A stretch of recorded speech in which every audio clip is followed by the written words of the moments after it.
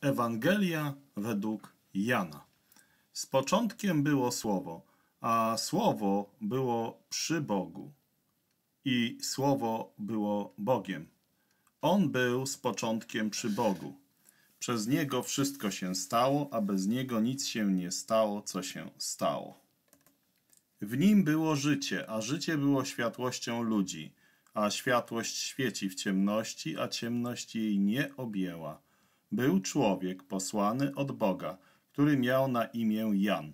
Ten przyszedł na świadectwo, aby zaświadczyć o światłości, aby przez niego wszyscy uwierzyli. Nie był on światłością, lecz by zaświadczyć o światłości. To była prawdziwa światłość, która przychodząc na świat, postawiła w świetle każdego człowieka. Na świecie był i świat przez niego zaistniał, lecz świat go nie poznał. Do swoich przyszedł, lecz swoi go nie przyjęli. Tym jednak, którzy go przyjęli, tym dał prawo stać się dziećmi bożymi, czyli tym, którzy wierzą Jego imieniu, którzy zrodzili się nie z krwi, ani z woli ciała, ani z woli mężczyzny, lecz są zrodzeni z Boga. A Słowo stało się ciałem i mieszkało między nami, i widzieliśmy chwałę Jego, chwałę jako jedynego od Ojca, pełną łaski i prawdy. Jan zaświadczył o nim i głośno wołał, mówiąc: Ten był tym, o którym powiedziałem. Ten przychodzący po mnie był przede mną, bo wcześniej był niż ja. A z jego pełni my wszyscy wzięliśmy i to łaskę za łaską, bo choć prawo było dane przez Mojżesza, to łaska i prawda stała się przez Jezusa Chrystusa.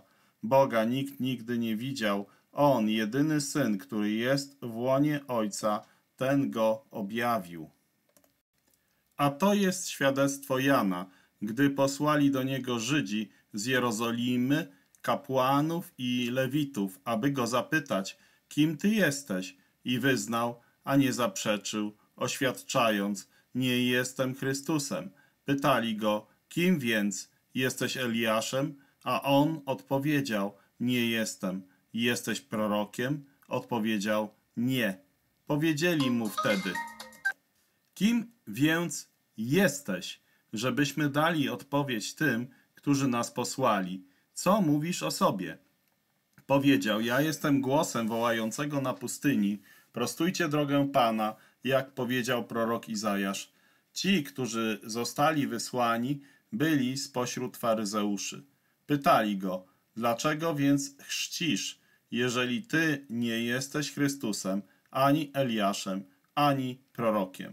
Jan odpowiedział im, ja zanurzam w wodzie, ale pośrodku was stoi ten, którego wy nie znacie, któremu przychodzącemu po mnie nie jestem godny rozwiązać rzemyka u jego sandałów. To działo się w Betanii za Jordanem, gdzie Jan chrzcił. Nazajutrz ujrzał idącego do niego Jezusa i powiedział: Oto baranek Boży, który usuwa grzech świata. To jest ten, o którym powiedziałem: Za mną idzie mąż, który jest przede mną, bo wcześniej był niż ja. Nie znałem go, ale aby on został objawiony Izraelowi, przyszedłem zanurzając w wodzie. Jan świadczył: Widziałem ducha stępującego jak gołąb z nieba, który pozostał na nim. Nie znałem go, lecz ten, który mnie posłał zanurzać w wodzie, on mi powiedział: Ten, na którym ujrzysz stępującego i pozostającego na nim ducha, ten zanurza w ducha świętego. Widziałem i świadczę, że on jest synem Bożym. Nazajutrz ponownie stał Jan i dwaj z jego uczniów. Ujrzawszy Jezusa przechodzącego, powiedział: Oto baranek Boży. Słyszeli go ci dwaj uczniowie, gdy to mówił, i poszli za Jezusem. Jezus, obróciwszy się, ujrzał ich idących za sobą i powiedział im: Czego szukacie? A oni mu powiedzieli, rabbi, co wykłada się mistrzu, gdzie mieszkasz? Powiedział im, pójdźcie, to zobaczycie. Przyszli i zobaczyli, gdzie przebywał, i tego dnia zostali przy nim, a było około dziesiątej godziny. Jednym z dwóch, którzy to słyszeli od Jana i szli za nim, był Andrzej, brat Szymona Piotra. Ten najpierw odszukał Szymona, swojego brata, i powiedział mu: Znaleźliśmy Mesjasza, co wykłada się Chrystusa.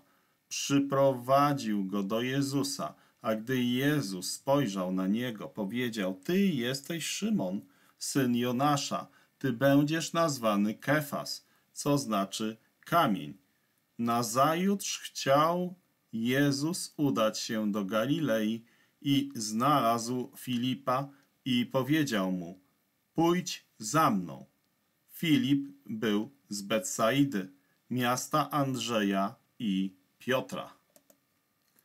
Następnie Filip, znalazłszy Natanaela, powiedział mu: Znaleźliśmy tego, o którym pisał Mojżesz w prawie i prorocy, Jezusa, syna Józefa, z Nazaretu. Na to powiedział mu Natanael: Czy z Nazaretu może być coś dobrego?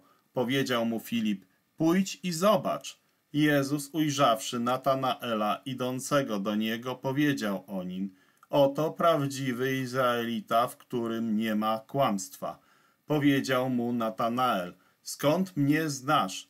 Jezus odpowiedział mu: Wcześniej, zanim zawołał cię Filip, widziałem cię, gdy byłeś pod drzewem figowym. Natanael odpowiedział mu: Mistrzu, ty jesteś synem Bożym, ty jesteś królem Izraela. Jezus odpowiedział mu: Wierzysz dlatego, że powiedziałem ci: Widziałem cię pod drzewem figowym, ujrzysz większe rzeczy niż te. Powiedział mu: Zaprawdę, zaprawdę mówię wam, odtąd ujrzycie otwarte niebo i aniołów bożych wstępujących i zstępujących na Syna Człowieczego. Trzeciego dnia było wesele w Kanie Galilejskiej i była tam matka Jezusa. Został też zaproszony Jezus i jego uczniowie na to wesele. Gdy zabrakło wina, powiedziała matka Jezusa do niego: Wina nie mają. Jezus powiedział jej: Cóż jest pomiędzy mną a tobą, kobieto? Jeszcze nie nadeszła moja godzina. Matka jego powiedziała do sług: Co wam powie, czyńcie. Było tam sześć stągwi kamiennych postawionych według żydowskiego zwyczaju oczyszczenia, mieszczących w sobie po dwa lub trzy wiadra. Jezus powiedział im: Napełnijcie te stągwie wodą, i napełnili je aż po brzegi. Powiedział im: Zaczerpnijcie teraz i zanieście gospodarzowi wesela. I zanieśli. Gdy gospodarz wesela skosztował tej wody, która stała się winem, a nie wiedział skąd ona jest, lecz słudzy, zaczerpnąwszy wodę, wiedzieli, zawołał oblubieńca. Powiedział mu, każdy człowiek najpierw daje dobre wino, a gdy sobie podpiją, wtedy gorsze. Ty zachowałeś dobre wino aż dotąd. To był początek znaków uczyniony przez Jezusa w Kanie Galilejskiej. Objawił swoją chwałę i uwierzyli w Niego i Jego uczniowie. Potem udał się do Kapernaum, on i jego matka, jego bracia, jego uczniowie i pozostali tam kilka dni. Był blisko czas Paschy żydowskiej. Poszedł Jezus do Jerozolimy. Znalazł w świątyni sprzedających woły, owce, gołębie i tych, którzy wymieniali pieniądze – Sporządziwszy bicz z powrozów, wypędził ich wszystkich ze świątyni wraz z owcami i wołami. Wysypał monety handlarzy pieniędzmi i wywrócił ich stoły. Tym, którzy sprzedawali gołębie, powiedział: Wynieście to stąd. Nie czyńcie targowiska z domu mojego ojca. Przypomnieli sobie jego uczniowie, że napisano: Gorliwość o twój dom pożera mnie. Wtedy Żydzi odpowiedzieli mu: Jaki nam pokażesz znak, że to czynisz? Jezus odpowiedział im: Zbóżcie tę świątynię, a ja w trzy dni ją odbuduję. Powiedzieli więc Żydzi: Czterdzieści sześć lat budowano tę świątynię, a ty chcesz ją w trzy dni odbudować? On jednak mówił o świątyni swojego ciała. Dlatego, gdy zmartwychwstał, jego uczniowie przypomnieli sobie, że im to powiedział i uwierzyli pismu i słowu, które wypowiedział Jezus. Gdy był w Jerozolimie w święto Paschy, wielu uwierzyło w jego imię, widząc cuda, które czynił. Jezus nie polegał na ich świadectwie, dlatego że znał wszystkich. Nie potrzebował, aby mu ktoś świadczył o człowieku, ponieważ wiedział, co jest w człowieku. Był człowiek spośród faryzeuszy o imieniu Nikodem, dostojnik żydowski. Ten przyszedł w nocy do Jezusa i powiedział mu: Rabbi, wiemy, że przyszedłeś od Boga jako nauczyciel, bo nikt tych cudów czynić nie może, które ty czynisz, chyba że Bóg jest z nim. Jezus odpowiedział mu: Zaprawdę, zaprawdę, powiadam ci, jeśli ktoś nie narodzi się na nowo, nie może zobaczyć Królestwa Bożego. Nikodem powiedział do niego: Jak może człowiek narodzić się, będąc starym? Czy może powtórnie wejść do łona swojej matki i się narodzić? Jezus odpowiedział: Zaprawdę, zaprawdę, powiadam ci, jeśli ktoś nie narodzi się z wody i z ducha, nie może wejść do Królestwa Bożego. Co narodziło się z ciała, jest ciałem, a co narodziło się z ducha, jest duchem. Nie dziw się, że ci powiedziałem, musicie się na nowo narodzić. Wiatr wieje gdzie chce i szum jego słyszysz, ale nie wiesz skąd przychodzi i dokąd idzie. Tak jest z każdym, który narodził się z ducha. Nikodem odpowiedział mu, jak się to może stać? Jezus odpowiedział mu, ty jesteś nauczycielem w Izraelu, a tego nie wiesz? Zaprawdę, zaprawdę powiadam ci, że co wiemy, to mówimy, co widzieliśmy, o tym świadczymy, a naszego świadectwa nie przyjmujecie. Jeżeli nie wierzycie, gdy wam powiedziałem o ziemskich rzeczach, jak uwierzycie, gdy wam powiem o niebiańskich? Nikt nie wstąpił do nieba, tylko ten, który zstąpił z nieba, Syn Człowieczy, który jest w niebie. Jak Mojżesz wywyższył węża na pustyni, tak musi być wywyższony Syn Człowieczy, aby każdy, kto uwierzy Jemu, nie zginął, ale miał życie wieczne. Ponieważ tak Bóg umiłował świat, że Syna swojego jedynego dał, aby każdy, kto uwierzy Jemu, nie zginął, ale miał życie wieczne. Ponieważ nie posłał Bóg swojego Syna na świat, by sądził świat, lecz aby świat był zbawiony przez Niego. Kto uwierzy Jemu, nie będzie sądzony, ale kto nie uwierzy, już jest osądzony, dlatego że nie uwierzył imieniu jedynego Syna Bożego. A na tym polega sąd, że światłość przyszła na świat, a ludzie bardziej umiłowali ciemność niż światłość, bo ich czyny były złe.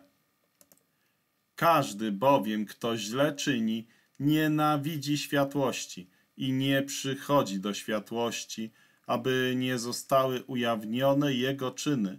Kto natomiast czyni prawdę, przychodzi do światłości, aby zostały ujawnione jego czyny, że uczynione są w Bogu. Potem przyszedł Jezus i jego uczniowie do ziemi judzkiej. Tam przebywał z nimi i chrzcił. Chrzcił też Jan w Enon, blisko Salim, bo było tam wiele wody. Ludzie przychodzili i byli chrzczeni. Bo Jan jeszcze nie był wtrącony do więzienia. Powstał wtedy spór między uczniami Jana a pewnym Żydem na temat oczyszczenia. Przyszli do Jana i powiedzieli mu: Rabbi, ten, który był z tobą za Jordanem, o którym ty dałeś świadectwo, ten oto chrzci i wszyscy idą do niego. Jan odpowiedział: Nie może człowiek nic wziąć, jeśli nie jest mu to dane z nieba. Wy sami jesteście moimi świadkami, że powiedziałem: Nie jestem Chrystusem, ale jestem posłany przed nim. Kto ma oblubienicę, jest oblubieńcem, a przyjaciel oblubieńca, który stoi i go słucha, raduje się niezmiernie z głosu oblubieńca. Tej właśnie radości doznaję w całej pełni. On musi rosnąć, a ja się stać małym. Kto z góry przychodzi, jest ponad wszystkimi. Kto z ziemi pochodzi, jest ziemski i mówi ziemskie rzeczy. Kto z nieba przychodzi, jest ponad wszystkimi. A co widział i słyszał, o tym świadczy, a świadectwa jego nikt nie przyjmuje. Kto przyjął jego świadectwo, ten tym samym przypieczętował, że Bóg jest prawdomówny, bo ten, którego Bóg posłał, mówi słowa Boże, gdyż Bóg udziela ducha bez miary. Ojciec miłuje syna i wszystko dał w jego ręce. Kto wierzy synowi, ma życie wieczne, ale kto nie wierzy synowi, nie zobaczy życia, lecz gniew Boży pozostaje nad nim. Gdy Pan poznał, że faryzeusze usłyszeli, że Jezus więcej ludzi czyni uczniami i chrzci niż Jan, chociaż sam Jezus nie chrzcił, ale jego uczniowie, opuścił ziemię judzką i odszedł ponownie do Galilei. Musiał przechodzić przez Samarię. Przyszedł więc do miasta Samarii o nazwie Sychar, blisko pola, które dał Jakub Józefowi, swojemu synowi. Była tam studnia Jakuba. Jezus więc, będąc strudzony drogą, usiadł przy studni, a było około szóstej godziny. Przyszła kobieta z Samarii zaczerpnąć wody.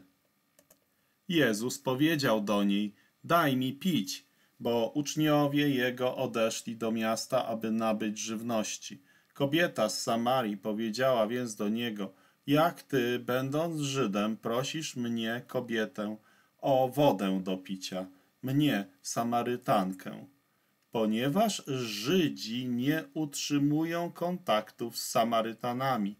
Jezus odpowiedział jej, gdybyś znała dar Boga. I kim jest ten, który mówi do ciebie, daj mi pić, to byś go prosiła, a dałby ci wody żywej. Kobieta powiedziała mu, panie, nie masz nawet czerpaka, a studnia jest głęboka. Skąd wiesz, masz tę wodę żywą? Kobieta powiedziała mu, panie, nie masz nawet czerpaka, a studnia jest głęboka. Skąd więc masz tę wodę żywą? Czy ty jesteś większy od naszego ojca Jakuba, który dał nam tę studnię, sam z niej pił, jego synowie i jego trzody? Jezus odpowiedział jej, każdy, kto pije tę wodę, ponownie będzie pragnął. Kto jednak będzie pił wodę, którą ja mu dam, nie będzie pragnął na wieki, ale woda, którą ja mu dam, stanie się w nim źródłem wody wytryskującej ku życiu wiecznemu. Kobieta powiedziała do niego, Panie, daj mi tej wody, abym nie pragnęła i nie przychodziła tutaj czerpać. Jezus powiedział jej, idź, zawołaj swojego męża i przyjdź tutaj. Kobieta odpowiedziała, nie mam męża.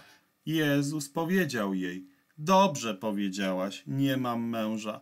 Miałaś pięciu mężów, a ten, którego teraz masz, nie jest twoim mężem. Powiedziałaś prawdę. Kobieta powiedziała mu, Panie, widzę, że jesteś prorokiem. Ojcowie nasi na tej górze oddawali cześć, a wy mówicie, że w Jerozolimie jest miejsce, gdzie należy oddawać cześć.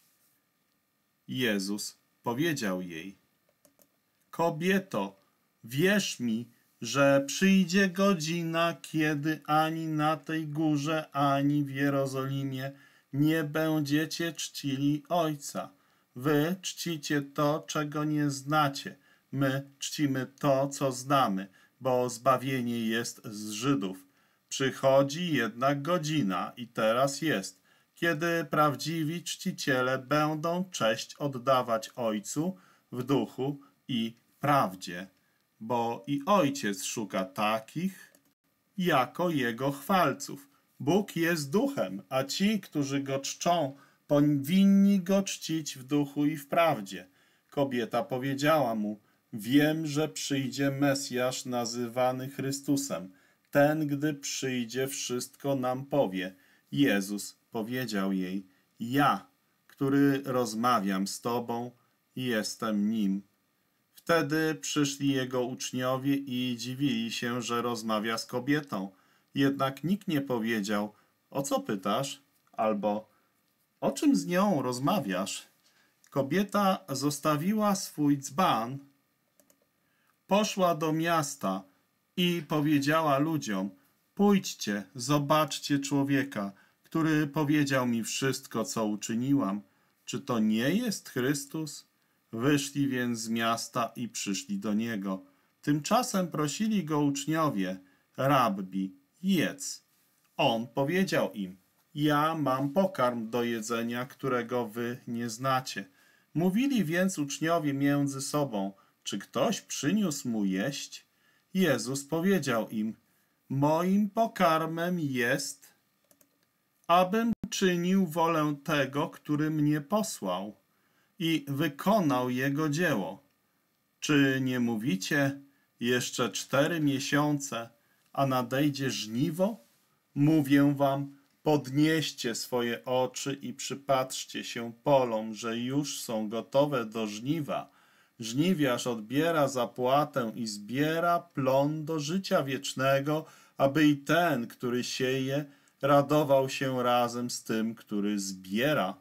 Prawdziwe jest przysłowie, że kto inny sieje, a kto inny żnie. Ja was posłałem żniwować to, nad czym nie pracowaliście.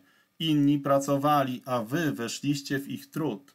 Z tego miasta wielu Samarytan uwierzyło jemu dzięki słowom kobiety, która świadczyła.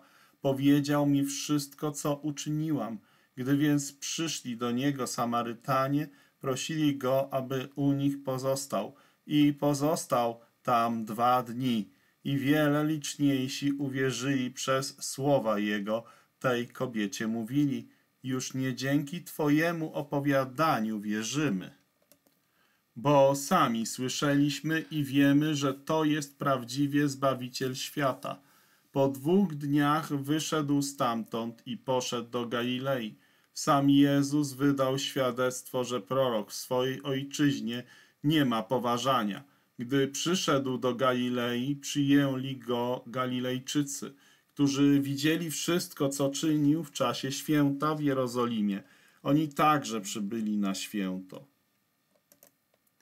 Wtedy ponownie przyszedł Jezus do Kany Galilejskiej, gdzie uczynił z wody wino – był w Kapernaum pewien dworzanin królewski, którego syn chorował. Ten, gdy usłyszał, że Jezus przyszedł z ziemi judzkiej do Galilei, poszedł do niego i prosił go, aby przyszedł i uzdrowił jego syna, bo bliski był śmierci. Jezus powiedział do niego, jeśli nie ujrzycie znaków i cudów, nie uwierzycie. Dworzanin królewski powiedział mu, Panie, przyjdź zanim umrze moje dziecko. Jezus powiedział mu, idź, syn twój żyje. Uwierzył ten człowiek słowu, które mu powiedział Jezus i poszedł. Gdy już wracał, spotkali go jego słudzy, mówiąc: Dziecko twoje żyje. Wtedy zapytał ich o godzinę, w której mu się polepszyło, i powiedzieli do niego: Wczoraj o godzinie siódmej opuściła go gorączka. Poznał więc ojciec, że była to godzina, w której mu Jezus powiedział: Syn twój żyje, i uwierzył sam i cały jego dom. Ten drugi znak uczynił Jezus, przyszedłszy z ziemi judzkiej do Galilei. Potem było święto żydowskie i poszedł Jezus do Jerozolimy. Jest w Jerozolimie przy owczej bramie sadzawka, zwana po hebrajsku Betesda, mająca pięć krużganków. W nich leżało mnóstwo chorych, ślepych, chromych i sparaliżowanych. Był tam pewien człowiek, który chorował od 38 lat. Gdy Jezus ujrzał go leżącego i poznał, że już przez długi czas choruje, powiedział mu: Czy chcesz być zdrowy? Chory odpowiedział mu: Panie, nie ma człowieka, który wrzuciłby mnie do sadzawki, gdy woda zostanie poruszona, a gdy idę, inny przede mną wchodzi. Jezus powiedział mu: Stań, weź swoje posłanie i chodź. Natychmiast wyzdrowiał ów człowiek. Wziął swoje posłanie i chodził. A tego dnia był dzień odpoczynku. Wtedy mówili Żydzi do uzdrowionego. Jest dzień odpoczynku. Nie wolno ci nosić posłania. Odpowiedział im, ten, który mnie uzdrowił, powiedział mi, weź swoje posłanie i chodź. Pytali go, kto jest tym człowiekiem, który ci powiedział, weź swoje posłanie i chodź. Uzdrowiony nie wiedział, kto to jest, bo Jezus odszedł, ponieważ wiele ludu było na tym miejscu. Potem znalazł go Jezus w świątyni i powiedział mu, oto zostałeś uzdrowiony. Nie grzesz więcej, aby nie stało ci się coś gorszego. Odszedł ten człowiek i powiedział Żydom, że to był Jezus, który go uzdrowił. Dlatego Żydzi prześladowali Jezusa, bo uczynił to w dzień odpoczynku. Jezus im odpowiedział: Ojciec mój aż dotąd działa i ja działam. Dlatego tym bardziej szukali Żydzi okazji, aby go zamordować, bo nie tylko naruszał dzień odpoczynku, ale też powiedział, że Bóg jest jego ojcem i siebie czynił równym Bogu. Jezus odpowiedział im: Zaprawdę, zaprawdę mówię wam, nie może syn sam od siebie nic uczynić, tylko to, co widzi, że czyni ojciec, bo cokolwiek on czyni, to także i syn czyni. Ojciec miłuje syna i ukazuje mu wszystko, co sam czyni, i większe mu nad te dzieła pokaże, abyście je podziwiali. Jak ojciec wzbudza umarłych i ożywia, tak i syn ożywia tych, których chce. Ojciec nikogo nie sądzi, lecz cały sąd dał synowi, aby wszyscy czcili syna, tak jak czczą ojca. Kto nie czci syna, nie czci ojca, który go posłał. Zaprawdę, zaprawdę mówię wam, kto słucha mojego słowa i wierzy temu, który mnie posłał, ma życie wieczne i nie będzie sądzony, ale przeszedł ze śmierci do życia. Zaprawdę, zaprawdę mówię wam, przyjdzie godzina i teraz już jest, gdy umarli usłyszą głos Syna Bożego i ci, którzy usłyszą, będą żyć. Bo jak ojciec ma życie sam w sobie, tak też dał synowi, aby miał życie sam w sobie i dał mu władzę sądzenia, bo jest synem człowieczym. Nie dziwcie się temu, bo przyjdzie godzina, w której wszyscy, którzy są w grobach, usłyszą jego głos. I ci, którzy dobrze czynili, powstaną do życia, ale ci, którzy źle czynili, powstaną na sąd. Nie mogę sam od siebie nic czynić. Jak słyszę, tak sądzę, a sąd mój jest sprawiedliwy, bo nie szukam woli mojej, ale woli Ojca, który mnie posłał. Jeśli sam o sobie świadczę, moje świadectwo nie jest prawdziwe. Inny jest, który o mnie świadczy i wiem, że prawdziwe jest świadectwo, które on składa o mnie. Wy posyłaliście do Jana, a on dał świadectwo prawdzie. Ja natomiast nie biorę świadectwa od człowieka, ale to mówię, abyście wy byli zbawieni. On to był lampą palącą się i świecącą, a wy chcieliście od, do czasu radować się w jego świetle. Mam świadectwo większe niż Jana, bo dzieła, które mi dał Ojciec, abym je wykonał, te dzieła, które czynię, świadczą o mnie, że Ojciec mnie posłał. I Ojciec, który mnie posłał, sam świadczył o mnie. Głosu Jego nigdy nie słyszeliście, ani osoby Jego nie widzieliście. Nie macie też słowa Jego w sobie mieszkającego, bo nie wierzycie temu, którego On posłał. Badacie pisma, bo sądzicie, że macie w nich życie wieczne, a one składają świadectwo o mnie. Nie chcecie przyjść do mnie, abyście mieli życie. Nie przyjmuję chwały od ludzi, ale znam was, że miłości Boga nie macie w sobie. Ja przyszedłem w imieniu Ojca mojego, a nie przyjmujecie mnie. Gdy przyjdzie inny we własnym imieniu, tego przyjmiecie. Jak możecie wierzyć wy, którzy chwałę jedni od drugich bierzecie, a nie szukacie chwały, która jest od samego Boga? Niech nie wydaje się wam, że ja was oskarżę przed Ojcem. Oto jest ktoś, kto was oskarża, Mojżesz, w którym wy macie nadzieję. Gdybyście bowiem wierzyli Mojżeszowi, wierzylibyście i mnie, gdyż on pisał o mnie. Jeśli jednak pismom jego nie wierzycie, jak uwierzycie moim słowom? Potem oddalił się Jezus na drugi brzeg Morza Galilejskiego, czyli Tyberiackiego. Szło za nim wiele ludu, bo widzieli jego znaki, które czynił wśród chorych. Jezus wszedł na wzgórze i siedział tam ze swoimi uczniami, a była blisko Pascha, święto żydowskie.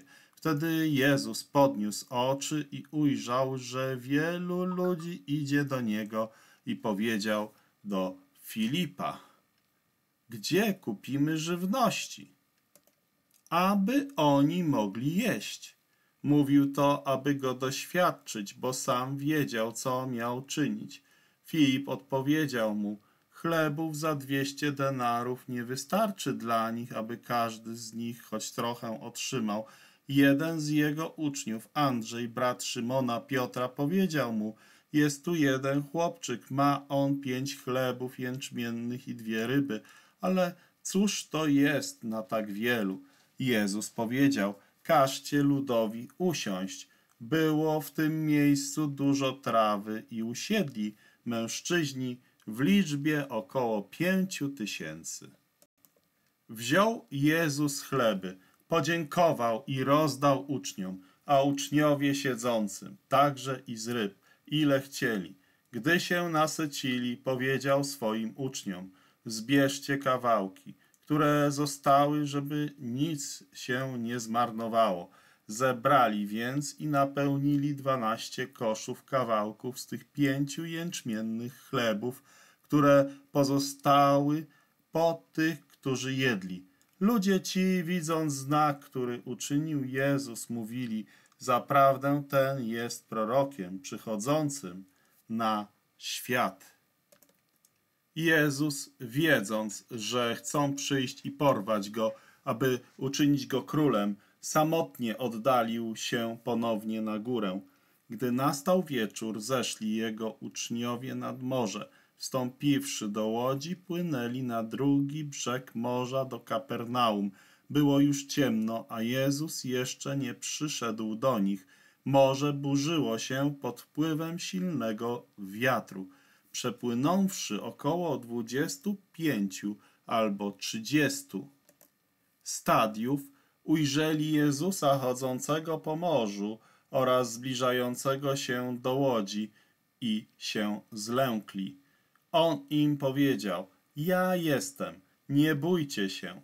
Z radością wzięli go do łodzi i natychmiast łódź znalazła się przy lądzie, do którego zmierzali.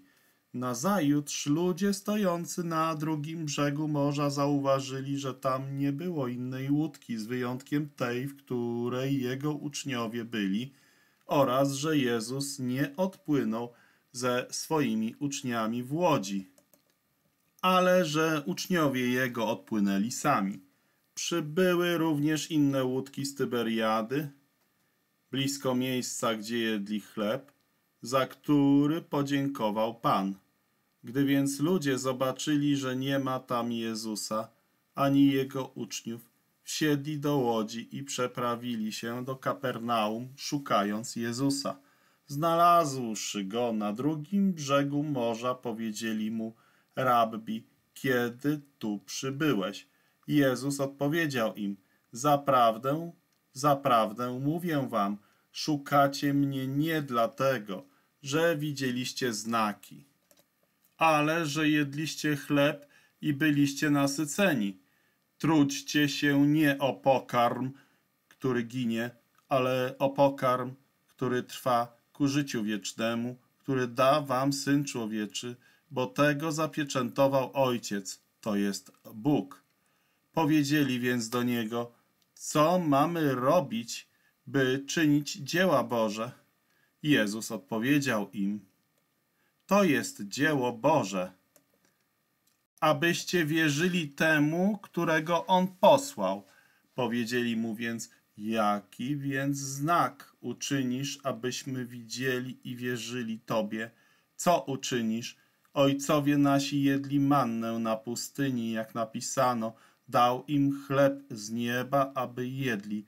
Jezus więc powiedział im, zaprawdę powiadam wam, nie Mojżesz dał wam chleb z nieba, ale Ojciec mój daje wam prawdziwy chleb z nieba. Chleb Boży to ten, który stępuje z nieba i daje życie światu. Powiedzieli więc do niego, Panie, dawaj nam zawsze tego chleba. Jezus powiedział im, ja jestem chlebem życia. Kto do mnie przychodzi, głodny już nigdy więcej nie będzie, a kto mi wierzy, nigdy pragnąć nie będzie. Powiedziałem wam, że widzieliście mnie, a jednak nie wierzycie. Wszystko, co mi daje Ojciec, do mnie przyjdzie, a tego, który do mnie przyjdzie, nie wyrzucę precz. Ponieważ stąpiłem z nieba nie po to, aby czynić swoją wolę, ale wolę tego, który mnie posłał. Taka jest wola Ojca, który mnie posłał, abym ze wszystkiego, co mi dał, nic nie stracił, ale abym to wzbudził w ostatni dzień. Ojciec mój chce, aby każdy, kto widzi Syna i wierzy Jemu, miał życie wieczne, a ja go wzbudzę w ostatni dzień. Szemrali więc Żydzi przeciwko niemu, że powiedział, ja jestem chlebem, który stąpił z nieba. I mówili, czy to nie jest Jezus, syn Józefa, którego ojca i matkę znamy. Jak więc ten teraz mówi, stąpiłem z nieba? Jezus wtedy odpowiedział im, nie szemrajcie między sobą. Nikt nie może przyjść do mnie, jeśli go nie pociągnie Ojciec mój, który mnie posłał, a ja go wzbudzę w dzień ostatni. W prorokach jest napisane, będą wszyscy pouczeni przez Boga, dlatego każdy, kto słyszał od Ojca i został pouczony, przychodzi do mnie. Nie żeby ktoś widział Ojca, tylko ten, który jest od Boga, ten widział Ojca. Zaprawdę, zaprawdę mówię wam, wierzący mi ma życie wieczne. Ja jestem chlebem życia. Ojcowie wasi jedli mannę na pustyni i pomarli. Ten jest chleb, który z nieba stępuje, aby z niego zjedzono i się nie umarło. Ja jestem chlebem żywym, który zstąpił z nieba. Jeśli ktoś zje z tego chleba, żyć będzie na wieki. A chleb, który ja daję, to moje ciało, które ja dam za życie świata. Sprzeczali się więc między sobą Żydzi, mówiąc, jak on może dać nam do jedzenia swoje ciało? Jezus zatem powiedział im, zaprawdę, zaprawdę, mówię wam, nie będziecie mieć życia w sobie, chyba że zjecie ciało Syna Człowieczego i napijecie się krwi Jego. Kto spożywa moje ciało i pije moją krew, ma życie wieczne, a ja go wzbudzę w dzień ostatni. Ciało moje prawdziwie jest pokarmem, a krew moja prawdziwie jest napojem. Kto spożywa moje ciało i pije moją krew, we mnie mieszka, a ja w nim. Jak mnie posłał Ojciec, który żyje i ja żyję przez Ojca, taki ten, kto mnie spożywa. Żyć będzie przeze mnie. Taki jest chleb, który z nieba stąpił, nie jak ojcowie wasi jedli i pomarli. Kto spożywa ten chleb, żyć będzie na wieki. To mówił w synagodze, ucząc w Kapernaum. Wtedy wielu z jego uczniów, słysząc to, mówiło, twarde to słowo, kto go może słuchać? Jezus, wiedząc, że jego uczniowie z tego powodu szemrzą, powiedział im, to was gorszy. A co by było, gdybyście zobaczyli Syna Człowieczego, wstępującego tam, gdzie był wcześniej? Duch jest tym, który ożywia, ciało nic nie pomaga. Słowa, które ja wam mówię, są duchem i życiem. Niektórzy z was nie wierzą. Jezus wiedział od początku, kim są ci, którzy nie wierzą i kim jest ten, który go wyda. Mówił też, dlatego wam powiedziałem, że nikt nie może przyjść do mnie, jeśli nie jest mu to dane od Ojca mojego. Od tego czasu wielu jego uczniów zawróciło i więcej z nim nie chodziło. Jezus wtedy powiedział do dwunastu. Czy może i wy chcecie odejść? Odpowiedział mu Szymon Piotr.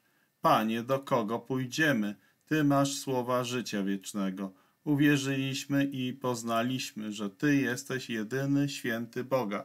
Jezus odpowiedział im, czy ja nie wybrałem was dwunastu, a jeden z was jest diabłem. To mówił o Judaszu, jednym z dwunastu synu Szymona Iskarioty, bo on miał go wydać. Potem chodził Jezus po Galilei. Nie chciał chodzić po Judei, dlatego że Żydzi dążyli usilnie, aby go zabić. Było blisko żydowskie święto namiotów. Wtedy powiedzieli do niego jego bracia, odejdź stąd i idź do Judei, żeby i twoi uczniowie widzieli dzieła, które ty czynisz.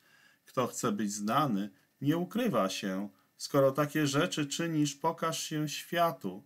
Nawet jego bracia nie wierzyli jemu. Jezus więc powiedział im, mój czas jeszcze nie nadszedł, ale dla was jest zawsze odpowiednia pora. Świat nie może was nienawidzić. Ale mnie nienawidzi.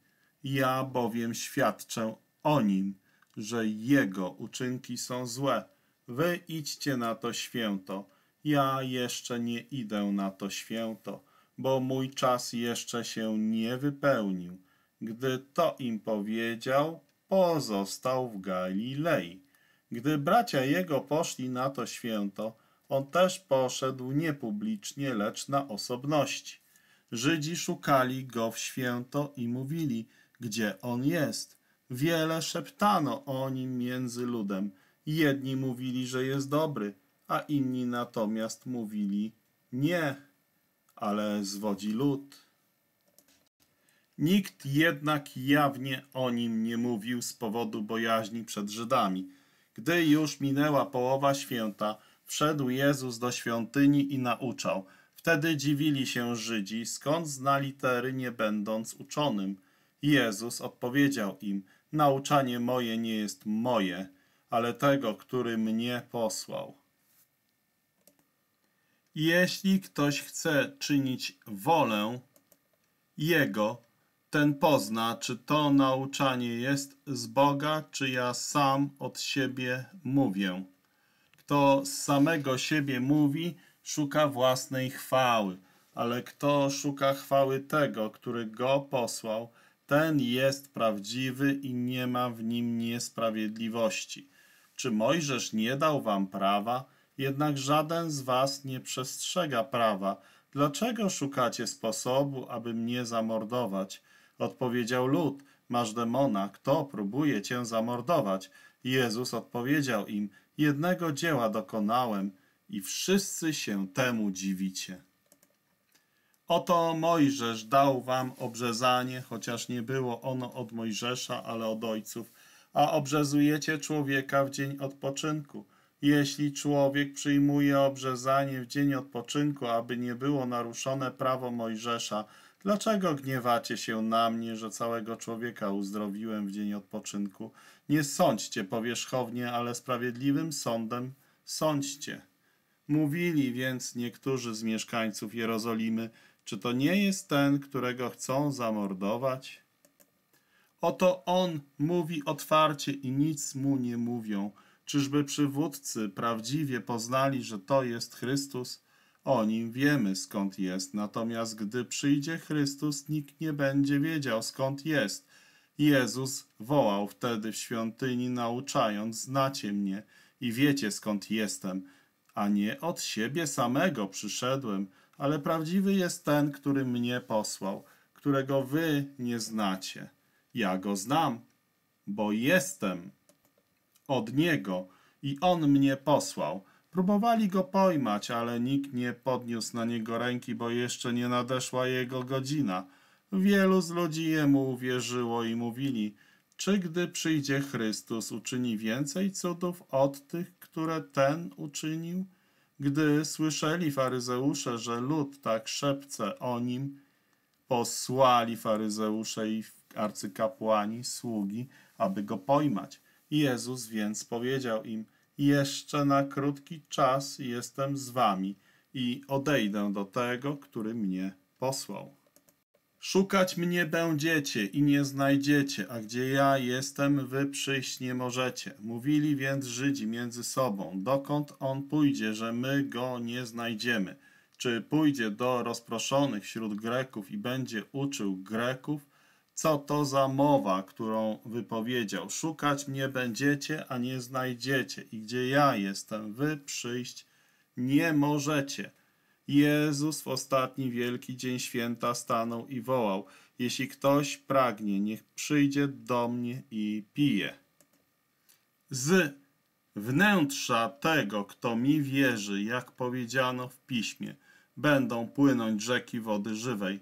To mówił o duchu, którego mieli otrzymać wierzący jemu, bo Duch Święty nie był jeszcze dany, dlatego że Jezus nie był jeszcze uwielbiony.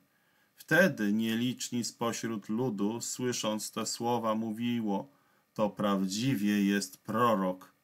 Inni mówili, to jest Chrystus. Inni natomiast mówili, czy z Galilei przyjdzie Chrystus? Czy Pismo nie mówi, że Chrystus przyjdzie z nasienia Dawida i z miejscowości Betlejem, gdzie był Dawid? Powstał więc rozłam między ludem z powodu niego. Niektórzy z nich chcieli go pojmać, ale nikt nie położył na nim swojej ręki. Przyszli więc słudzy do arcykapłanów i do faryzeuszy, a oni im powiedzieli, dlaczego nie przyprowadziliście go tutaj? Odpowiedzieli słudzy, żaden człowiek nigdy nie przemawiał tak jak ten człowiek. Odpowiedzieli im faryzeusze, czy i wy jesteście zwiedzeni? Czy ktoś z przywódców albo z faryzeuszy jemu uwierzył? To pospólstwo, które nie zna prawa, jest przeklęte. Nikodem, będący jednym z nich, przemówił do nich, czy nasze prawo sądzi człowieka, jeżeli wcześniej nie wysłucha go i nie pozna, co czyni? Odpowiedzieli mu, czy i ty jesteś z Galilei? Zbadaj i zobacz, że nie powstał prorok z Galilei. Czy i ty jesteś z Galilei? zbadaj i zobacz, że nie powstał prorok z Galilei. I poszedł każdy do swojego domu. Jezus poszedł na górę oliwną. Rano natomiast ponownie przyszedł do świątyni, a wszyscy ludzie zeszli się do niego i gdy usiadł, nauczał ich. Przyprowadzili do niego skrybowie z faryzeuszami kobietę złapaną na cudzołóstwie i postawili ją po środku. Powiedzieli mu, nauczycielu, ta kobieta była pojmana, gdy cudzołożyła. Prawie Mojżesz nakazał nam takie kamienować, a ty co mówisz? Mówili to, by wystawić go na próbę, aby mogli go oskarżyć. Jezus schylił się w dół i pisał palcem po ziemi. A gdy nie przestawali go pytać, podniósł się i powiedział do nich: Kto z was jest bez grzechu, niech pierwszy rzuci w nią kamieniem. Ponownie schylił się i pisał po ziemi. Gdy to usłyszeli, jeden po drugim odchodzili, zaczynając od starszych aż do ostatnich. Został tylko sam Jezus i kobieta stojąca po środku. Jezus podniósł się i nikogo nie widząc, tylko tę kobietę, powiedział jej: Kobieto, gdzie są ci, co ciebie oskarżali? Nikt cię nie potępił? Ona powiedziała: Nikt, panie. A Jezus powiedział jej: Ja cię nie potępiam. Idź i więcej nie grzesz. Wtedy ponownie Jezus powiedział im: Ja jestem światłem świata. Kto za mną idzie, nie będzie chodził w ciemności, ale będzie miał światło życia. Wtedy faryzeusze powiedzieli mu: Ty sam o sobie świadczysz, świadectwo twoje nie jest prawdziwe. Jezus odpowiedział im: Chociaż ja świadczę sam o sobie, jednak moje świadectwo jest prawdziwe. Wiem skąd przyszedłem i dokąd idę. Wy nie wiecie skąd przyszedłem i dokąd idę. Wy sądzicie według ciała, ja nikogo nie sądzę. Nawet jeśli ja sądzę, sąd mój jest prawdziwy. Nie jestem sam, ale ja jestem i Ojciec, który mnie posłał. W waszym prawie napisano, że świadectwo dwóch ludzi jest prawdziwe. Ja jestem tym, który sam o sobie świadczy i Ojciec, który mnie posłał, świadczy o mnie. Wtedy powiedzieli mu, gdzie jest twój Ojciec? I Jezus odpowiedział, ani mnie nie znacie, ani mojego Ojca. Gdybyście mnie znali, znalibyście też mojego Ojca. Te słowa mówił Jezus przy skarbcu, ucząc świątyni. Nikt go nie pojmał, bo jeszcze nie nadeszła jego godzina. Jezus odpowiedział im ponownie: Ja odchodzę i będziecie mnie szukać i pomrzecie w swoim grzechu. Jezus powiedział im więc ponownie: Ja odchodzę i będziecie mnie szukać i pomrzecie w swoim grzechu. Dokąd ja odchodzę, wy przyjść nie możecie. Mówili więc Żydzi: czy sam się zabije, że mówi, dokąd ja odchodzę, wy przyjść nie możecie? Powiedział do nich, wy jesteście z niskości, ja z wysokości. Wy jesteście z tego świata, ja nie jestem z tego świata. Dlatego powiedziałem wam, że pomrzecie w swoich grzechach, bo jeśli nie wierzycie, że ja jestem, pomrzecie w swoich grzechach. Dlatego powiedzieli mu, kim ty jesteś? Jezus powiedział im, tym, co ja całkowicie do was mówię. Wiele mam o was do powiedzenia i do sądzenia, ale ten, który mnie posłał, jest prawdziwy, a ja, co usłyszałem od niego, to mówię przed światem. Nie zrozumieli, że im mówił o Ojcu. Jezus wtedy powiedział im, gdy wywyższycie Syna Człowieczego, wtedy poznacie, że ja jestem. Nic sam z siebie nie czynię, ale jak nauczył mnie Ojciec mój, tak mówię. Ten, który mnie posłał, jest ze mną. Ojciec nie zostawił mnie samego, bo ja zawsze czynię to, co jemu się podoba. Gdy on tak mówił, wielu mu uwierzyło. Mówił więc Jezus do tych Żydów, którzy mu uwierzyli. Jeśli wytrwacie w moim słowie, prawdziwie będziecie moimi uczniami. Poznacie prawdę, a prawda was wyswobodzi. Odpowiedzieli mu: My jesteśmy z nasienia Abrahama. Nigdy nie byliśmy niczyimi niewolnikami. Jak ty możesz mówić? Wyswobodzeni będziecie. Jezus odpowiedział im: Zaprawdę, zaprawdę mówię wam, każdy, kto grzeszy, jest niewolnikiem grzechu. Niewolnik nie zostaje w domu na wieki, syn zostaje na wieki. Dlatego, jeśli syn was wyswobodzi, prawdziwie wolnymi będziecie.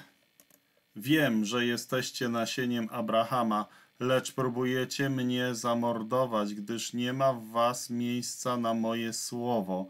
Ja, co widziałem u mojego ojca, to mówię, a wy czynicie to, co słyszeliście u swojego ojca. Odpowiedzieli mu, naszym ojcem jest Abraham. I Jezus powiedział im, gdybyście byli synami Abrahama, czynilibyście dzieła Abrahama. Teraz szukacie sposobu, aby mnie zamordować, człowieka, który wam mówił prawdę, którą słyszał od Boga. Tego Abraham nie czynił. Wy czynicie dzieła swojego ojca. Powiedzieli mu wtedy, my nie jesteśmy zrodzeni z nierządu, mamy jednego ojca, Boga. Jezus wtedy powiedział im, gdyby Bóg był waszym ojcem, to byście mnie miłowali. Bo ja wyszedłem od Boga i przyszedłem, a nie przyszedłem sam od siebie, ale On mnie posłał. Dlaczego mowy mojej nie pojmujecie? Dlatego, że nie potraficie słuchać moich słów. Ojcem waszym jest diabeł i chcecie czynić porządliwości swojego ojca. On był mordercą od początku i nie pozostał w prawdzie, bo w nim nie ma prawdy. Gdy mówi kłamstwo, sam od siebie mówi, dlatego że jest kłamcą i ojcem kłamstwa. Dlatego, że ja mówię prawdę, nie wierzycie mi. Kto z was obwini mnie o grzech? Natomiast, skoro ja mówię prawdę, dlaczego mi nie wierzycie? Kto jest z Boga, słów Bożych słucha. Dlatego wy nie słuchacie, bo nie jesteście z Boga. Żydzi odpowiedzieli mu, czy nie właściwie mówimy, że jesteś Samarytaninem i że masz demona? Jezus odpowiedział, ja nie mam demona, ale czczę mojego Ojca, a wy mnie znieważacie. Ja natomiast nie szukam własnej chwały. Jest jeden taki, który szuka i sądzi. Zaprawdę, zaprawdę mówię wam, jeśli ktoś zachowa słowo moje, nie będzie oglądał śmierci na wieki. Żydzi wtedy powiedzieli mu, teraz poznaliśmy, że masz demona. Abraham umarł i prorocy, a ty mówisz, jeśli ktoś zachowa słowo moje, nie zakosztuje śmierci na wieki. Czy ty jesteś większy od naszego ojca Abrahama, który umarł? Prorocy pomarli, kim ty siebie czynisz? Zaprawdę, zaprawdę mówię wam, jeśli ktoś zachowa słowo moje, nie będzie oglądał śmierci na wieki. Żydzi wtedy powiedzieli mu, teraz poznaliśmy, że masz demona. Abraham umarł i prorocy, a ty mówisz, jeśli ktoś zachowa słowo moje, nie zakosztuje śmierci na wieki. Czy ty jesteś większy od naszego ojca Abrahama, który umarł, prorocy pomarli? Kim ty siebie czynisz? Jezus odpowiedział, jeśli ja sam siebie czczę, to moja cześć jest niczym. Ojciec mój jest tym, który mnie czci. Ten sam, o którym wy twierdzicie, on jest naszym Bogiem. Nie znacie go, a ja go znam. Jeśli bym powiedział, że go nie znam, byłbym podobnym do was kłamcą. Znam go i słowo jego zachowuję. Abraham, wasz ojciec, cieszył się, że miał oglądać mój dzień. Oglądał i się radował. Żydzi wtedy powiedzieli do niego, nie masz jeszcze pięćdziesięciu lat, a widziałeś Abrahama? Jezus powiedział im, zaprawdę, zaprawdę mówię wam, przed tym niż Abraham był, ja jestem. Wtedy porwali kamienie, aby rzucić w niego, lecz Jezus ukrył się i wyszedł ze świątyni. Gdy odszedł, ujrzał człowieka ślepego od urodzenia. Pytali go uczniowie jego, Rabbi, kto zgrzeszył? On czy jego rodzice, że urodził się ślepy? Jezus odpowiedział, ani on nie zgrzeszył, ani jego rodzice, ale żeby na nim okazały się dzieła Boże. Ja muszę wykonywać dzieła tego, który mnie posłał, dopóki jest dzień. Przyjdzie noc, gdy nikt nie będzie mógł działać. Dopóki jestem na świecie, jestem światłem świata. Gdy to powiedział, splunął na ziemię. Uczynił błoto ze śliny i pomazał tym błotem oczy ślepego. Powiedział mu, idź obmyj się w sadzawce Syloam, co się wykłada posłany. Poszedł więc i umył się, a gdy wrócił, widział. Sąsiedzi, którzy go wcześniej widzieli żebrzącym, mówili, czyż to nie jest ten, który siadał i żebrał? Jedni mówili, że to jest on, a inni, że jest podobny do niego. On natomiast mówił, ja nim jestem. Więc powiedzieli mu, jak zostały otworzone twoje oczy? Odpowiedział, człowiek, którego nazywają Jezusem, uczynił błoto, pomazał moje oczy i powiedział mi, idź do Syloam i się obmyj. Gdy odszedłem i obmyłem się, przejrzałem. Wtedy powiedzieli mu, gdzie on jest. Powiedział, nie wiem. Przyprowadzili więc tego, który wcześniej był ślepy, do faryzeuszy. Był dzień odpoczynku, gdy Jezus uczynił błoto i otworzył jego oczy. Dlatego ponownie zapytali go faryzeusze, w jaki sposób przejrzał. A on powiedział im, nałożył mi błoto na oczy, umyłem się i widzę. Mówili więc niektórzy z faryzeuszy, człowiek ten nie jest od Boga, bo nie przestrzega dnia odpoczynku. Inni mówili, jak może grzeszny człowiek czynić takie cuda? Powstał rozłam między nimi. Powiedzieli ponownie ślepemu, co ty mówisz o nim w związku z tym, że otworzył twoje oczy? A on powiedział, jest prorokiem. Nie wierzyli Żydzi, że był on ślepy i stał się widzącym, aż zawołali rodziców tego, który stał się widzącym. Pytali ich, czy to jest wasz syn, o którym wy mówicie, że urodził się ślepy? Jak więc teraz widzi? Odpowiedzieli im rodzice jego. Wiemy, że to jest nasz syn i że urodził się ślepy. Jak teraz widzi, nie wiemy. Ani też nie wiemy, kto otworzył jego oczy. Jest dorosły, zapytajcie go, niech sam o sobie powie. Tak mówili jego rodzice, bo bali się Żydów. Ponieważ już wtedy Żydzi postanowili, aby każdy, kto wyzna, że on jest Chrystusem, został wyłączony z synagogi, dlatego powiedzieli jego rodzice, jest dorosły, zapytajcie go. Powtórnie więc zawołali człowieka, który był ślepy i powiedzieli mu, oddaj chwałę Bogu, my wiemy, że człowiek ten jest grzeszny. Odpowiedział, czy jest grzeszny, nie wiem, wiem tylko jedno, że byłem ślepy, a teraz widzę. Powiedzieli mu ponownie, co ci uczynił, jak otworzył twoje oczy. Odpowiedział im, już wam powiedziałem, a nie słuchacie. Co jeszcze chcecie usłyszeć? Czy i wy chcecie zostać jego uczniami? Wtedy go zwymyślali. Ty jesteś jego uczniem, ale my jesteśmy uczniami Mojżesza. My wiemy, że Bóg mówił do Mojżesza, lecz ten skąd jest, nie wiemy. Człowiek ów odpowiedział im, to jest rzecz dziwna, że nie wiecie skąd on jest, a otworzył moje oczy. Wiemy, że Bóg nie wysłuchuje grzeszników, lecz kogoś, kto jest bogobojny i czyni Jego wolę, tego wysłuchuje. Nigdy nie słyszano, aby ktoś otworzył oczy ślepemu od urodzenia. Gdyby on nie był od Boga, nie mógłby nic uczynić. Odpowiedzieli mu, ty cały urodziłeś się w grzechach i ty nas nauczasz. Wyrzucili go na zewnątrz. Jezus usłyszał, że go na zewnątrz wyrzucili, A gdy go znalazł, powiedział mu, czy wierzysz Synowi Bożemu? Odpowiedział, kto to jest, panie, abym jemu uwierzył? Odpowiedział, kto to jest, panie, abym mu uwierzył? Jezus powiedział mu, widziałeś go, a ten, który mówi z tobą, jest nim. Powiedział, wierzę, panie, i oddał mu pokłon. Jezus powiedział mu, ja przyszedłem do tego świata na sąd, aby niewidzący widzieli, a widzący stali się ślepymi. Usłyszeli to niektórzy z faryzeuszy, którzy byli z nim i powiedzieli mu, czyż my też jesteśmy ślepi? Jezus powiedział im, gdybyście byli ślepi, nie mielibyście grzechu, ale teraz mówicie, widzimy, tak więc pozostajecie w grzechu.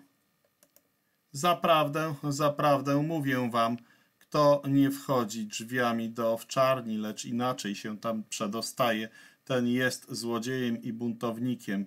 Kto jednak wchodzi drzwiami, jest pasterzem owiec. Temu odźwierny otwiera i owce słuchają jego głosu, a on swoje własne owce woła po imieniu i wyprowadza je na zewnątrz. Gdy wypuści swoje owce, idzie przed nimi, a owce idą za nim, bo znają jego głos. Za obcym nie idą, lecz uciekają od niego, bo nie znają głosu obcych. Taką przypowieść powiedział im Jezus, lecz oni nie zrozumieli tego, co im mówił. Jezus więc ponownie powiedział im, Zaprawdę, zaprawdę mówię wam, że ja jestem drzwiami dla owiec. Wszyscy, którzy przede mną byli, są złodziejami i buntownikami, lecz owce ich nie słuchały. Ja jestem drzwiami. Jeśli ktoś przeze mnie wejdzie, będzie zbawiony, wejdzie i wyjdzie i pastwisko znajdzie. Złodziej przychodzi tylko by kraść, zabijać i zatracić. Ja przyszedłem, aby miały życie i obfitowały. Ja jestem prawdziwym pasterzem. Prawdziwy pasterz kładzie swoje życie za owce. Wynajęty jako pasterz, który nie jest pasterzem i właścicielem owiec, widząc przychodzącego wilka, opuszcza owce i ucieka, a wilk porywa i rozprasza owce. Wynajęty jako pasterz ucieka, bo zapłata za pracę pasterską jest jego celem i nie troszczy się o owce. Ja jestem prawdziwym pasterzem, znam swoje i moje mnie znają. Jak mnie zna ojciec i ja znam ojca i życie swoje kładę za owce. Mam i inne owce, które nie są z tej owczarni, te muszę przyprowadzić i słuchać będą mojego głosu. Będzie jedna owczarnia i jeden pasterz. Dlatego ojciec mnie miłuje, bo ja kładę swoje życie, abym je znowu wziął. Nikt mi go nie odbiera, ale ja kładę je sam z siebie. Mam władzę położyć je i mam władzę znowu je wziąć. Taki rozkaz wziąłem od mojego ojca. Ponownie powstał podział między Żydami z powodu tych słów. Wielu z nich mówiło, ma demona i szaleje, dlaczego go słuchacie? Inni mówili, to nie są słowa kogoś, kto ma demona. Czy demon może otwierać oczy ślepym? Było w Jerozolimie święto poświęcenia świątyni i była zima. Jezus przechadzał się w świątyni w przedsionku Salomona. Żydzi więc obstąpili go i powiedzieli mu, jak długo będziesz trzymał nas w niepewności? Jeśli Ty jesteś Chrystusem, powiedz nam to wyraźnie. Jezus odpowiedział im, powiedziałem wam, a nie wierzycie. Dzieła, które ja czynię w imieniu Ojca mojego, te o mnie świadczą. Nie wierzycie, bo nie jesteście z moich owiec, jak wam powiedziałem. Owce moje słuchają mojego głosu i ja je znam, a one idą za mną. Ja daję im życie wieczne i nie zginą na wieki i nikt nie wydrze ich z mojej ręki. Ojciec mój, który mi je dał, większy jest nad wszystkich i nikt nie może ich wydrzeć z ręki Ojca mojego. Ja i Ojciec jesteśmy jedno. Wtedy ponownie Żydzi porwali kamienie, aby go ukamienować. Jezus odpowiedział im, wiele dobrych czynów ukazałem wam od mojego Ojca, za który z tych czynów mnie kamienujecie. Żydzi odpowiedzieli mu, nie kamienujemy cię z powodu dobrych czynów, ale z powodu bluźnierstwa i że ty, będąc człowiekiem, czynisz siebie Bogiem. Jezus odpowiedział im, czy w prawie waszym nie napisano, ja powiedziałem, jesteście bogami? jeżeli nazwał bogami tych, do których dotarło Słowo Boże, a Pismo nie może być rozwiązane, do mnie, którego Ojciec poświęcił i posłał na świat, wy mówicie, bluźnisz, dlatego że powiedziałem, jestem Synem Bożym. Jeżeli nie czynię dzieł mojego Ojca, nie wierzcie mi. Skoro natomiast czynię, choćbyście mi nie wierzyli, wierzcie czynom. Abyście poznali i wierzyli, że Ojciec jest we mnie, a ja w nim. Wtedy ponownie szukali sposobu, aby go pojmać, ale uszedł z ich rąk. Odszedł ponownie za Jordan, na to miejsce, gdzie wcześniej chrzcił Jan i tam pozostawał. Wielu przychodziło do niego i mówiło, Jan żadnego cudu nie uczynił, ale wszystko, cokolwiek Jan o nim powiedział, było prawdą. Wielu tam mu uwierzyło. Był pewien chory Łazarz z Betanii, z miasteczka Marii i Marty, jej siostry. Była to ta Maria, która namaściła Pana pachnidłem i otarła jego nogi swoimi włosami. Jej to brat Łazarz chorował. Posłały więc siostry do niego, mówiąc, Panie, oto ten, którego miłujesz, jest chory. Gdy Jezus usłyszał to, powiedział, ta choroba nie jest na śmierć, ale dla chwały Bożej, aby przez nią był uwielbiony Syn Boży. Jezus miłował Martę i jej siostrę i Łazarza. Gdy więc usłyszał, że jest chory, został jeszcze przez dwa dni na tym miejscu, gdzie był. Potem powiedział do swoich uczniów, idźmy ponownie do ziemi judzkiej. Uczniowie powiedzieli mu, rabbi, dopiero co szukali sposobu Żydzi, żeby cię ukamienować, a ty idziesz tam ponownie. Jezus odpowiedział, czy dzień nie ma dwunastu godzin? Jeśli ktoś chodzi we dnie, nie potknie się, bo widzi światło tego świata. Jeśli natomiast ktoś chodzi w nocy, potknie się, bo nie ma w nim światła. Po tych słowach dopowiedział: Łazarz, przyjaciel nasz, zasnął, ale idę go obudzić. Wtedy jego uczniowie powiedzieli: Panie, jeśli zasnął, będzie zdrowy. Jezus jednak mówił o jego śmierci, lecz oni myśleli, że mówił o zwykłym śnie. Jezus więc powiedział im wtedy wyraźnie: Łazarz umarł. I cieszę się ze względu na was, że tam nie byłem, abyście wy uwierzyli, ale pójdźmy do niego. Powiedział więc Tomasz, zwany bliźniakiem do współuczniów: Pójdźmy i my, abyśmy z nim pomarli. Jezus więc przyszedł i znalazł go leżącego już cztery dni w grobie. Betania była blisko Jerozolimy, oddalona około piętnastu stadiów. Przyszło wielu Żydów do Marty i Marii, aby je pocieszać po ich bracie. Marta wtedy, gdy usłyszała, że idzie Jezus, wyszła na jego spotkanie, ale Maria siedziała w domu. Marta więc powiedziała do Jezusa: Panie, gdybyś tutaj był, mój brat nie umarłby. Wiem, że i teraz o cokolwiek prosiłbyś Boga, da ci to Bóg. Jezus powiedział jej: Twój brat zmartwychwstanie. Marta powiedziała mu: Wiem, że zmartwychwstanie przy zmartwychwstaniu w dniu ostatecznym. Jezus powiedział jej: Ja jestem zmartwychwstaniem i życiem. Kto mi wierzy, choćby umarł, będzie żył. Każdy, kto żyje i mi wierzy, nie umrze na wieki. Czy wierzysz temu? Powiedziała mu: Tak, panie, ja uwierzyłam, że ty jesteś Chrystus, syn Boga, który miał przyjść na świat. Gdy to powiedziała, poszła i potajemnie zawołała Marię, swoją siostrę, mówiąc: Nauczyciel jest tutaj i woła ciebie. Ta, skoro to usłyszała, wstała i szybko poszła do niego. Jezus jeszcze nie wszedł do miasteczka, ale był na tym miejscu, gdzie go spotkała Marta. Żydzi więc, którzy byli z nią w domu i pocieszali ją, widząc, że Maria szybko wstała i wyszła, poszli za nią, mówiąc, że idzie do grobu, aby tam płakać. Gdy więc Maria przyszła tam, gdzie był Jezus, widząc go, przypadła do jego nóg i powiedziała mu: Panie, gdybyś tutaj był, mój brat by nie umarł. Jezus natomiast, gdy ujrzał ją płaczącą i płaczących Żydów, którzy z nią przyszli, będąc dogłębnie wzruszony i wstrząśnięty w duchu, powiedział: Gdzie go położyliście? Mówią mu: Panie, pójdź i zobacz. Jezusowi popłynęły łzy. Wtedy rzekli Żydzi: Panie, czcie jak go miłował. Niektórzy z nich mówili: Nie mógł ten, który otworzył oczy ślepemu, czynić, aby i ten nie umarł.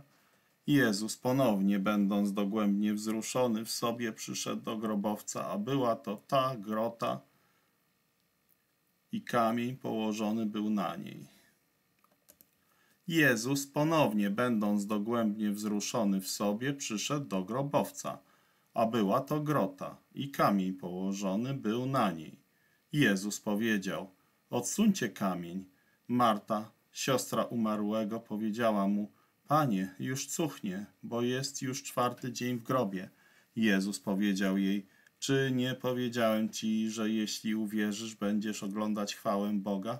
Podnieśli kamień. Jezus wzniósł swoje oczy w górę i powiedział: Ojcze, dziękuję ci, że mnie wysłuchałeś. Ja wiedziałem, że mnie zawsze wysłuchujesz, ale to powiedziałem ze względu na stojący lud. Aby uwierzyli, że ty mnie posłałeś. Gdy to powiedział, zawołał głośno: Łazarzu, wyjdź stamtąd. Wyszedł umarły, mając związane nogi i ręce pasmami płótna, a jego twarz była obwiązana chustką. Jezus powiedział im: Rozwiążcie go i pozwólcie mu odejść. Wielu więc z Żydów, którzy przyszli do Marii, widząc to, co uczynił Jezus, uwierzyło mu. Niektórzy z nich odeszli do faryzeuszy i powiedzieli im, co uczynił Jezus. Zebrali więc arcykapłani z faryzeuszami radę i mówili, co uczynimy, bo człowiek ten czyni wiele znaków. Jeśli go tak zostawimy, wszyscy mu uwierzą. Przyjdą Rzymianie, zabiorą zarówno to miejsce, jak i też nasz naród. Jeden z nich, Kajfasz, który był arcykapłanem tego roku, powiedział im: Wy nic nie wiecie, nie bierzecie pod rozwagę, iż lepiej jest dla nas, żeby jeden człowiek umarł za lud, aby nie zginął cały naród. Nie mówił tego sam z siebie, ale będąc arcykapłanem tego roku, prorokował, że Jezus miał umrzeć za naród, a nie tylko za naród, ale żeby też w jedno zgromadzić rozproszone dzieci Boże. Od tego dnia naradzali się wspólnie, aby go zamordować. Jezus więc już nie chodził jawnie między Żydami, ale odszedł stamtąd do krainy, która jest blisko pustyni, do miasta, które nazywa się Efraim, i tam przebywał ze swoimi uczniami.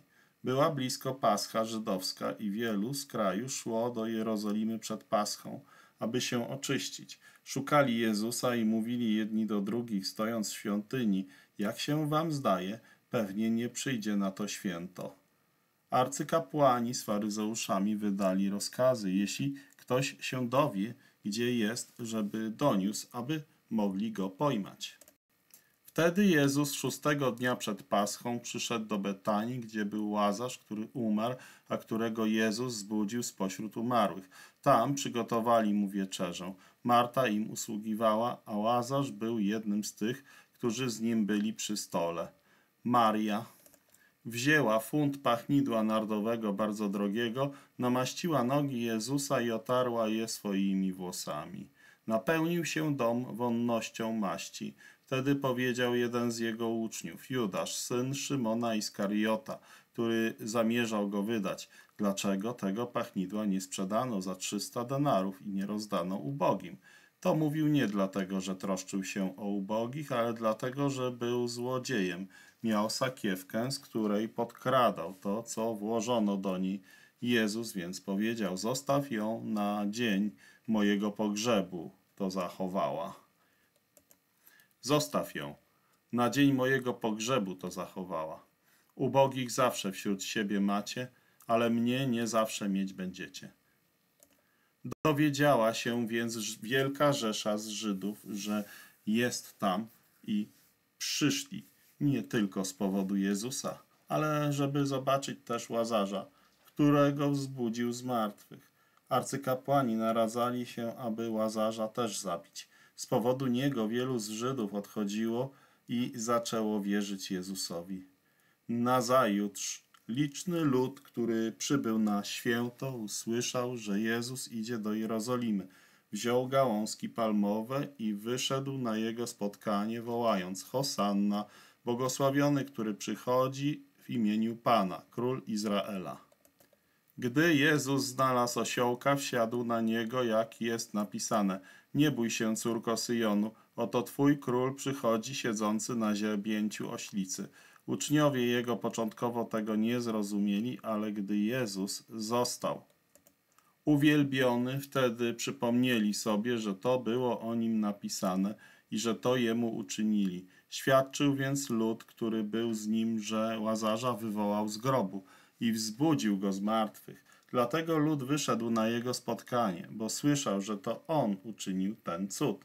Wtedy mówili faryzeusze między sobą: Widzicie, że nic nie zyskacie, oto cały świat poszedł za nim.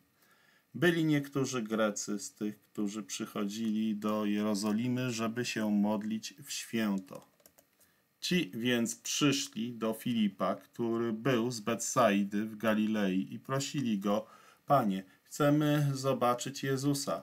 Poszedł Filip i powiedział Andrzejowi, a Andrzej i Filip powiedzieli Jezusowi.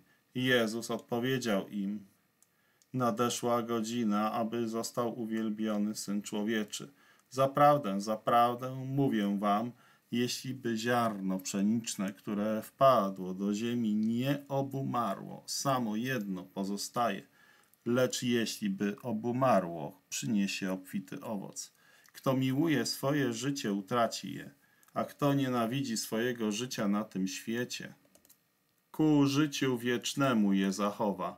Jeśli ktoś mi służy, niech idzie za mną, a gdzie ja jestem, tam będzie i mój sługa. A jeśli ktoś będzie mi służył, uczci go mój ojciec. Teraz dusza moja jest wstrząśnięta i co powiem? Ojcze, zachowaj mnie od tej godziny, przecież dlatego przyszedłem na tę godzinę. Ojcze, uwielbij swoje imię. Przyszedł wtedy głos z nieba, uwielbiłem i ponownie uwielbię. Wtedy lud, który stał i to słyszał, mówił, zagrzmiało. Inni mówili, anioł mówił do niego. Jezus odpowiedział, nie ze względu na mnie zabrzmiał ten głos, ale ze względu na was. Teraz odbywa się sąd tego świata. Teraz władca tego świata zostanie wyrzucony precz. Gdy będę wywyższony ponad ziemię, pociągnę wszystkich do siebie, to powiedział, zaznaczając, jaką śmiercią ma umrzeć. Ludzie odpowiedzieli mu: Słyszeliśmy sprawa, że Chrystus trwa na wieki. Jak więc ty możesz mówić, że ma być wywyższony syn człowieczy? Kim jest ten syn człowieczy? Jezus więc powiedział im: Jeszcze na krótki czas światło jest wśród was. Chodźcie, dopóki macie światło, żeby nie ogarnęła was ciemność, bo kto w ciemności chodzi, nie wie, dokąd idzie. Dopóki macie światło, wierzcie w światło, abyście byli synami światła. Gdy Jezus to powiedział i odszedł, ukrył się przed nimi. Chociaż tyle znaków uczynił wobec nich, nie uwierzyli jemu, aby wypełniło się słowo proroka Izajasza. Panie, kto uwierzył naszej wieści, a komu objawiło się ramię Pana? Dlatego nie mogli uwierzyć, bo ponownie powiedział Izajasz, zaślepił ich oczy i zatwardził ich serce, aby nie zobaczyli oczyma i zrozumieli sercem i nawrócili się, bym ich uzdrowił. To powiedział Izajasz, gdy widział jego chwałę i mówił o nim. Mimo to jednak wielu z przywódców jemu uwierzyło, ale z powodu faryzeuszy nie wyznawali swojej wiary, żeby nie zostali wyłączeni z synagogi, Umiłowali bowiem bardziej chwałę ludzką niż chwałę Bożą. Jezus wołał, kto mi wierzy, nie mi wierzy, ale temu, który mnie posłał. Kto mnie widzi, widzi tego, który mnie posłał. Ja jako światło przyszedłem na świat, aby nikt, kto mi wierzy, nie pozostał w ciemności. Jeśli ktoś słuchałby moich słów i nie uwierzył, ja go nie sądzę, bo nie przyszedłem, żeby sądzić świat, ale żeby świat zbawić. Kto mną gardzi i nie przyjmuje moich słów, ma swojego sędziego. Słowa, które ja mówiłem, te osądzą go w dzień ostatni, bo ja nie mówiłem sam z siebie, ale ojciec, który mnie posłał, on mi dał polecenie, co mam powiedzieć i co mam mówić. Wiem, że polecenie jego jest życiem wiecznym. Dlatego, co ja wam mówię, to mówię tak, jak mi powiedział ojciec.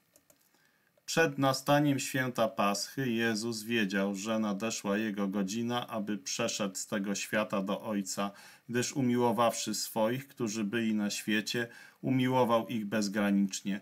W czasie wieczerzy, gdy diabeł włożył już w serce Judasza, syna Szymona Iskarioty, aby go wydał, Jezus wiedząc, że Ojciec wszystko dał w jego ręce, i że od Boga wyszedł i przechodzi do Boga, wstał od wieczerzy, odłożył wierzchnie szaty, następnie wziąwszy lniany ręcznik przepasał się, potem nalał wody do misy, zaczął umywać nogi uczniom i wycierać lnianym ręcznikiem, którym był przepasany. Przyszedł więc do Szymona Piotra, a on powiedział mu, Panie, Ty miałbyś umywać mi nogi? Jezus odpowiedział mu, co ja czynię, Ty teraz nie wiesz, ale się potem dowiesz. Piotr powiedział mu, nie będziesz nigdy umywał moich nóg. Odpowiedział mu Jezus, jeśli cię nie umyję, nie masz działu ze mną. Szymon Piotr powiedział mu, Panie, nie tylko moje nogi, ale też ręce i głowę. Jezus powiedział mu, kto jest umyty, nie potrzebuje się myć chyba tylko nogi, bo czysty jest cały i wy jesteście czyści, ale nie wszyscy. Bo wiedział, kto go wyda, dlatego powiedział, nie wszyscy jesteście czyści. Gdy więc umył ich nogi, wziął swoje szaty, ułożył się ponownie do stołu i rzekł im, wiecie, co wam uczyniłem. Wy nazywacie mnie nauczycielem i panem i dobrze mówicie, bo jestem nim. Jeżeli więc ja, Pan i nauczyciel, umyłem wam nogi i wy winniście jedni drugim umywać nogi, bo dałem wam przykład, abyście i wy czynili, jak wam uczyniłem. Zaprawdę, zaprawdę mówię wam, nie jest niewolnik większy nad swojego Pana, ani posłaniec nie jest większy nad tego, który go posłał. Jeśli to wiecie, błogosławieni jesteście, gdy to czynicie. Nie o was wszystkich mówię, ja wiem, których wybrałem, ale żeby wypełniło się pismo, ten, który je ze mną chleb, podniósł przeciwko mnie swoją piętę. Od teraz mówię wam, zanim się to stanie, abyście, gdy się to stanie, uwierzyli, że ja jestem. Zaprawdę, zaprawdę mówię wam, kto przyjmuje tego, kogo poślę, mnie przyjmuje, a kto mnie przyjmuje, przyjmuje tego, który mnie posłał. Gdy Jezus to powiedział, był wstrząśnięty w duchu i zaświadczył: Zaprawdę, zaprawdę mówię wam, że jeden z was mnie wyda. Spoglądali uczniowie po sobie w niepewności, o kim to mówi. Jeden z uczniów jego, którego Jezus miłował, wtulił się w Jezusa. Skinął więc na niego Szymon Piotr, aby spytał się, kim jest ten, o którym mówi. On zaś przylgnąwszy do piersi Jezusa, powiedział, Panie, kto to jest? Jezus odpowiedział, to jest ten, któremu ja, umoczywszy, podam kawałek chleba. Umoczywszy kawałek, podał go Judaszowi Iskariocie, synowi Szymona. Po wzięciu tego kawałka chleba wszedł w niego szatan. Jezus wtedy powiedział mu, co czynisz? Czyń szybko. Nikt z tych przy stole nie zrozumiał tego, dlaczego mu to powiedział. Judasz miał sakiewkę, dlatego niektórzy uważali, że Jezus mu powiedział, nabądź to, czego nam potrzeba na święto, albo żeby coś dał ubogim. On więc po wzięciu tego kawałka chleba zaraz wyszedł, a była noc. Gdy wyszedł, Jezus powiedział, teraz został uwielbiony Syn Człowieczy i Bóg uwielbiony został w nim. Skoro Bóg został uwielbiony w nim, to też Bóg uwielbi go w sobie i wkrótce go uwielbi.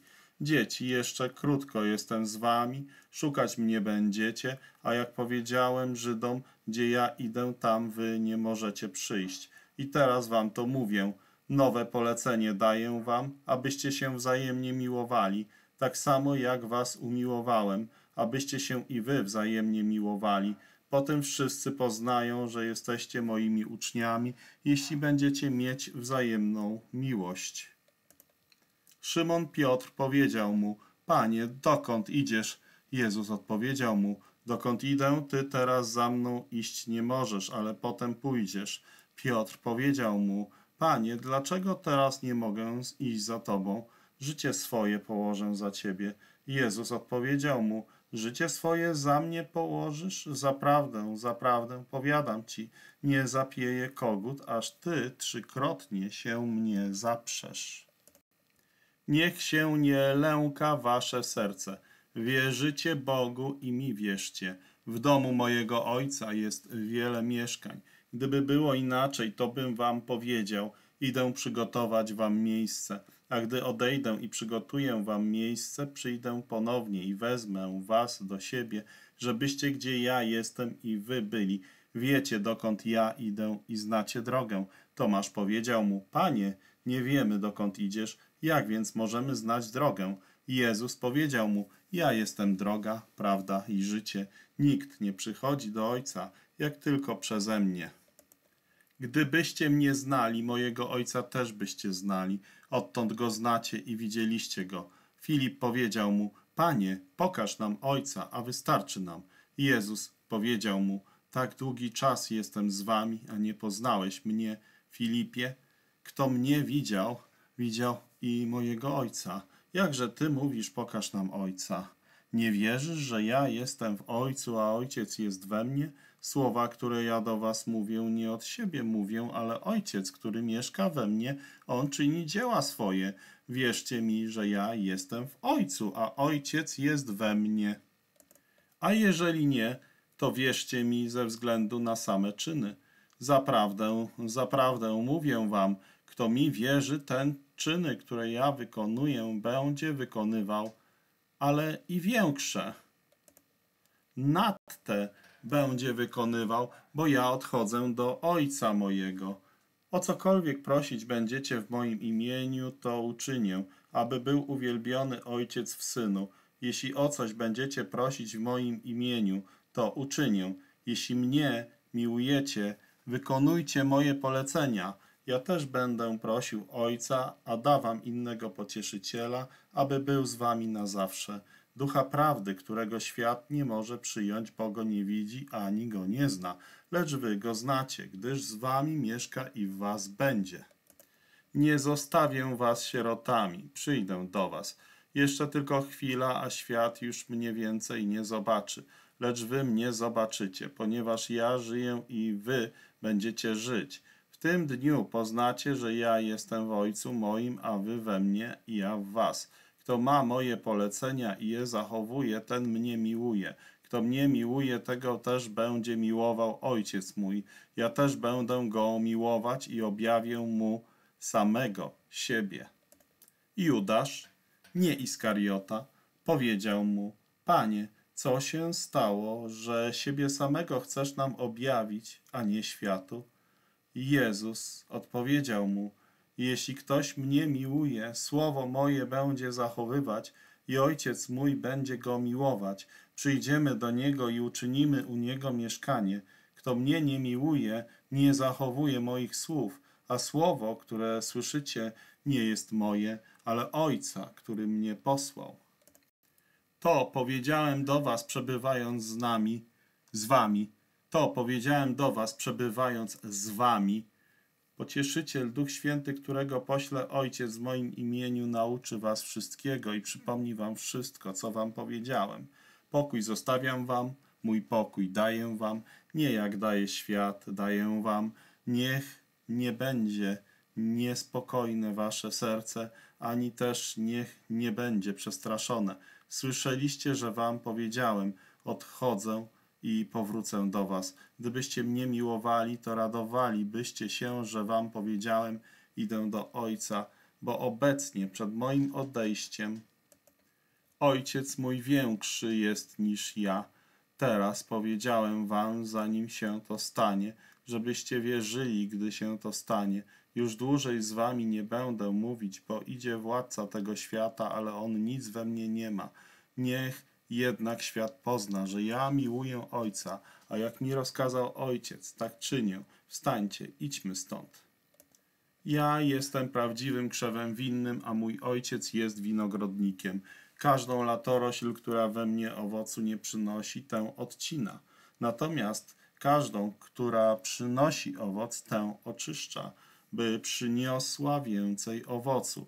Wy już jesteście czystymi ze względu na słowo, które do was mówiłem. Trwajcie we mnie, a ja w was. Jak latorośl nie może przynieść owocu sama z siebie, jeśli nie trwa w krzewie winnym, tak i wy, jeśli we mnie trwać nie będziecie. Ja jestem krzewem winnym, a wy latoroślami. Kto we mnie trwa, a ja w nim, ten przynosi wiele owocu, bo poza mną nic uczynić nie możecie. Jeśli ktoś nie trwa we mnie, będzie jak latorośl wyrzucony na zewnątrz i uschnie. Następnie zbiera się te latorośle, wrzuca w ogień i są palone. Jeśli we mnie trwać będziecie i słowa moje w was trwać będą, cokolwiek byście chcieli, proście, a stanie się wam. W tym będzie uwielbiony Ojciec mój, jeżeli obfity owoc przyniesiecie i będziecie moimi uczniami. Jak mnie umiłował Ojciec, tak i ja was umiłowałem. Trwajcie w mojej miłości.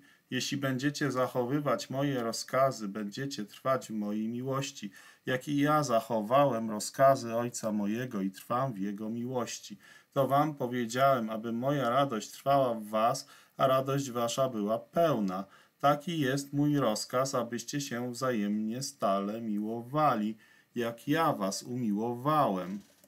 Większej miłości nikt nie ma od tej, gdy ktoś życie swoje kładzie za swoich przyjaciół. Wy jesteście moimi przyjaciółmi, jeśli będziecie czynić to, co ja wam rozkazuję.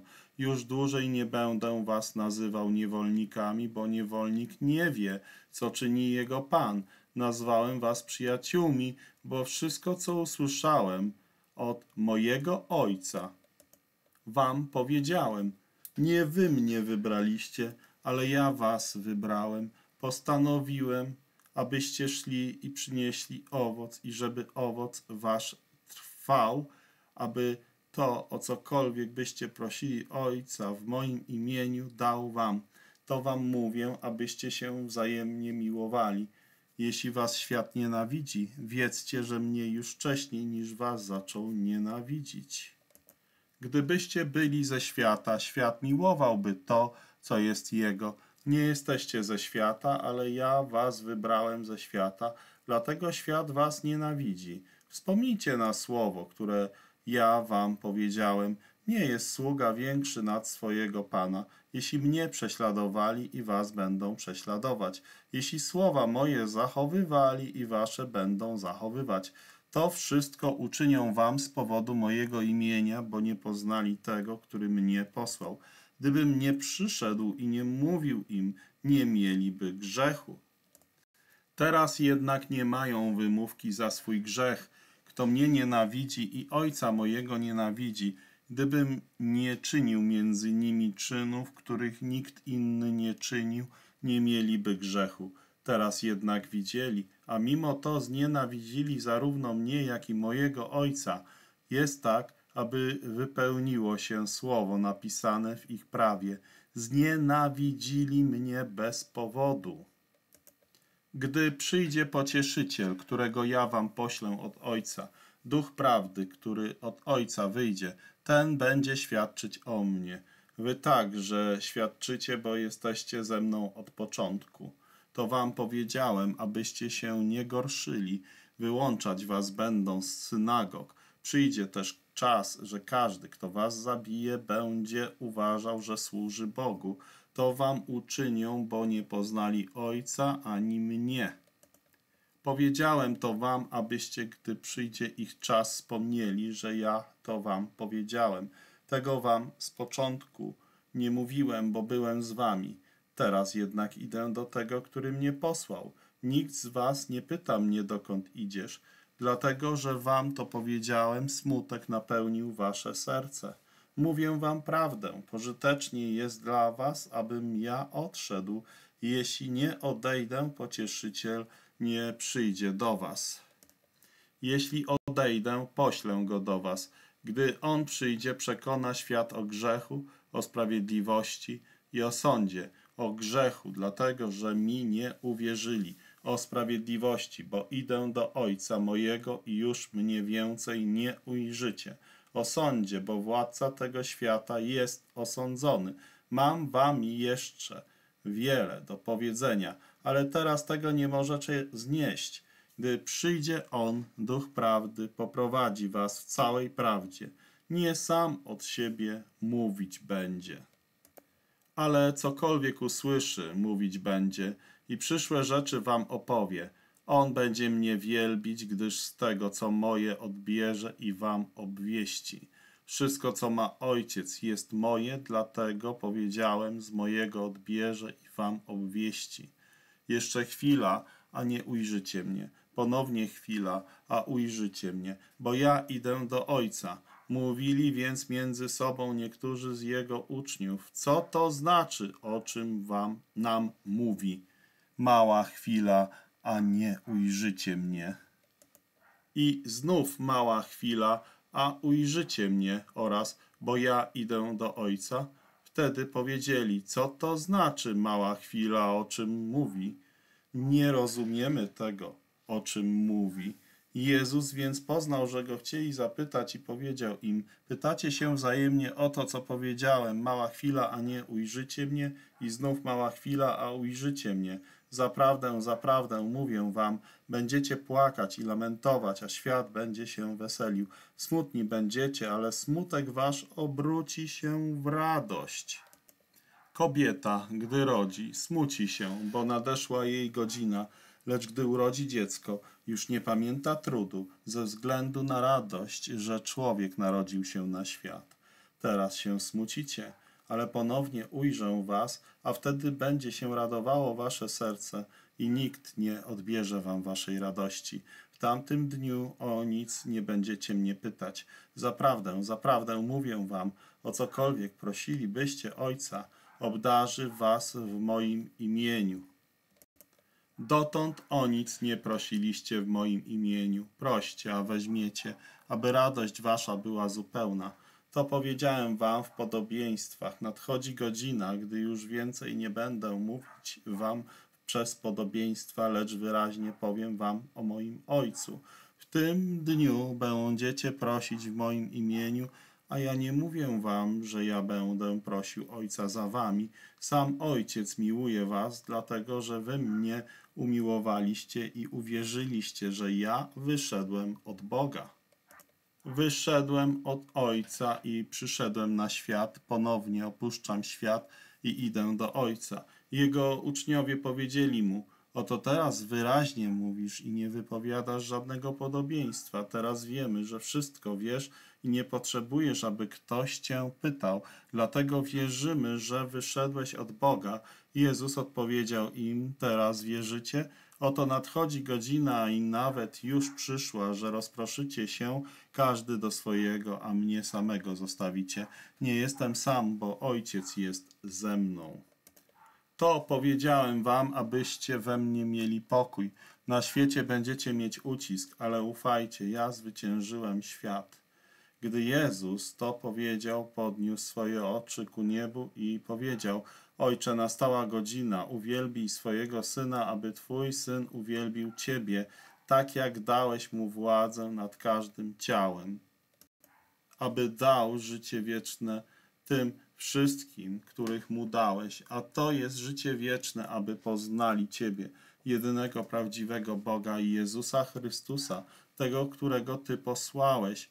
Ja Ciebie uwielbiłem na ziemi, dokonałem dzieła, które mi dałeś, abym tego dokonał. A teraz Ty, Ojcze, uwielbij mnie, u samego siebie tą chwałą, którą miałem u Ciebie, zanim powstał świat.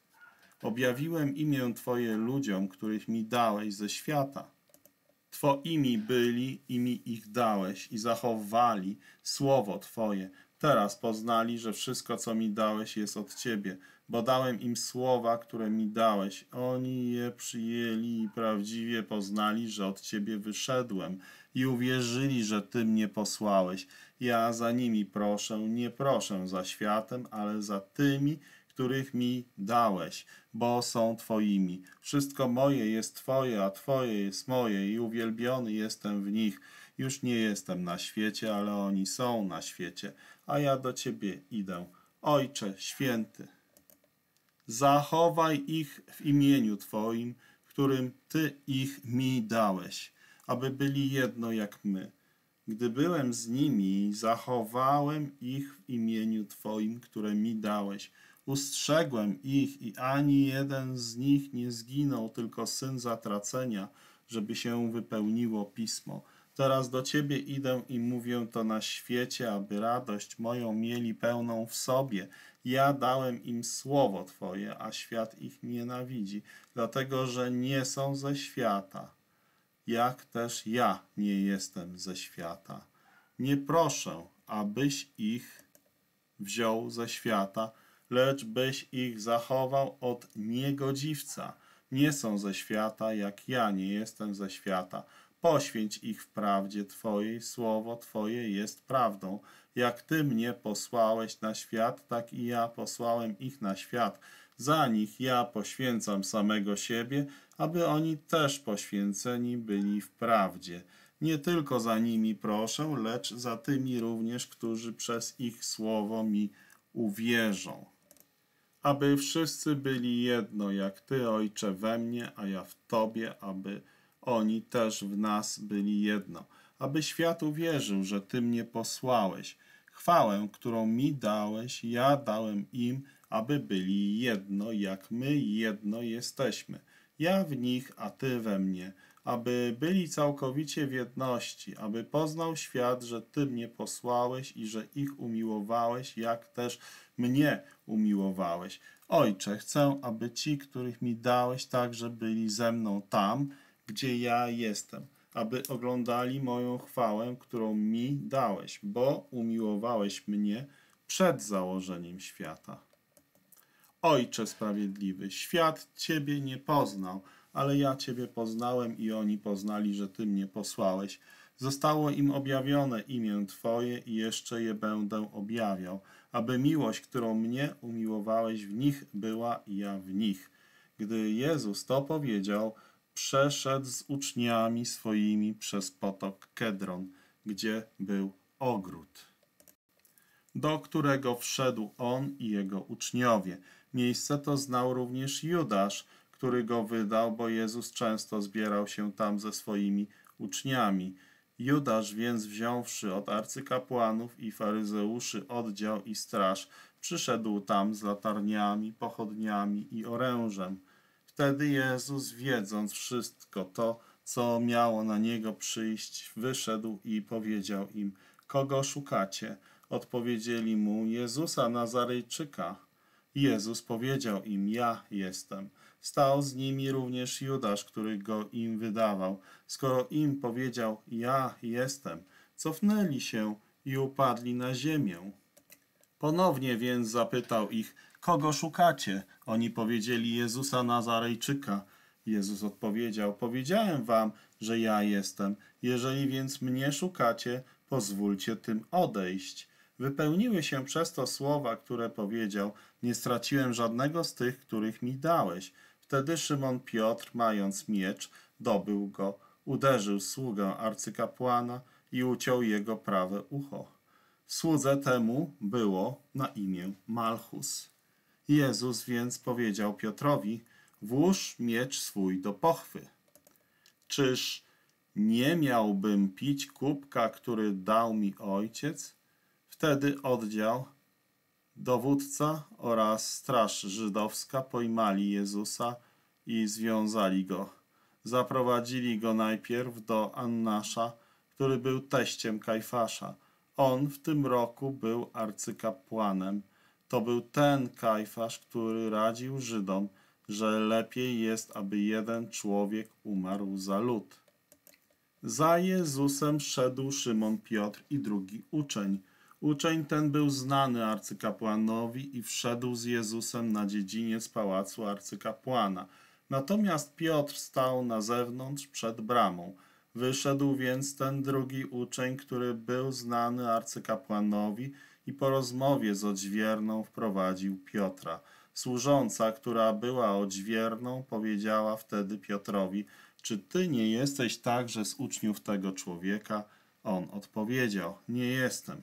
Niewolnicy i słudzy z powodu zimna, rozpaliwszy ogień, stali i się ogrzewali. Piotr także był z nimi stojąc i się grzejąc. Tymczasem arcykapłan zapytał Jezusa o jego uczniów i o jego nauczanie. Jezus odpowiedział mu: Ja otwarcie mówiłem światu, ja zawsze uczyłem w synagodze i w świątyni, gdzie wszyscy Żydzi schodzą się, a potajemnie nic nie mówiłem. Dlaczego mnie pytasz? Pytaj tych, którzy słuchali, co im mówiłem. Oni to, oto oni wiedzą, co ja powiedziałem. Gdy on to mówił, jeden ze stojących tam sług wymierzył policzek Jezusowi, mówiąc: Tak to odpowiadasz arcykapłanowi? Jezus odpowiedział mu: Jeśli źle powiedziałem, udowodnij, że źle, a jeśli dobrze, za co mnie bijesz? Odesłał go Annasz związanego do arcykapłana Kajfasza. Szymon Piotr stał i się grzał. Powiedzieli więc do niego: Czy i ty nie jesteś z jego uczniów? On zaparł się, mówiąc: Nie jestem. Powiedział mu jeden z niewolników arcykapłana, krewny tego, któremu Piotr uciął ucho: Czy nie widziałem cię z nim w ogrodzie? Piotr jednak ponownie się zaparł i zaraz zapiał kogut. Zaprowadzili więc Jezusa od Kajfasza do pretorium. Było wcześnie rano. Nie weszli sami do pretorium, aby nie zanieczyścić się, aby móc spożyć baranka paschalnego. Piłat więc wyszedł do nich i powiedział: Jaką wnosicie skargę przeciwko temu człowiekowi? Odpowiedzieli mu: Gdyby on nie był złoczyńcą, nie wydalibyśmy go tobie. Piłat więc powiedział: Weźcie go i według waszego prawa osądźcie. Żydzi powiedzieli mu: Nam nie wolno nikogo zabijać by wypełniły się słowa Jezusa, które wypowiedział, aby zaznaczyć, jaką śmiercią umrze. Więc ponownie wszedł Piłat do pretorium i zawołał Jezusa: Ty jesteś królem Żydów? I Jezus odpowiedział mu: Czy ty mówisz to od siebie, czy też inni tobie o mnie to powiedzieli? Piłat odpowiedział: Czy jestem Żydem? Twój naród i arcykapłani wydali mi ciebie co uczyniłeś? Jezus odpowiedział, Królestwo moje nie jest z tego świata. Gdyby królestwo moje było z tego świata, moi słudzy walczyliby, abym nie był wydany Żydom. Teraz jednak królestwo moje nie jest stąd. Piłat powiedział mu, więc jesteś królem? Jezus odpowiedział mu, ty to mówisz, że ja jestem królem. Ja po to się urodziłem i po to przyszedłem na świat, aby dać świadectwo prawdzie. Każdy, kto jest z prawdy, słucha mojego głosu.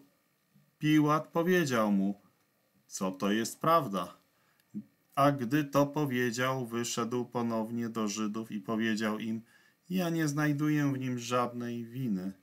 Jest u was zwyczaj, że na paschę jednego wam uwalniam, Chcecie więc, abym wam wypuścił króla Żydów? Zawołali więc wszyscy ponownie, nie tego, ale Barabasza, a Barabasz był złoczyńcą. Następnie Piłat wziął Jezusa i go ubiczował. Żołnierze upletli koronę z ciernia, włożyli na jego głowę i przyodziali go purpurowym płaszczem. Podchodzili do niego mówiąc, witaj królu Żydów i policzkowali go, Wyszedł więc ponownie Piłat i powiedział im, oto wyprowadzam go do was, abyście poznali, że w nim nie znajduję żadnej winy. Wyszedł wtedy Jezus w koronie cierniowej i w purpurowym płaszczu.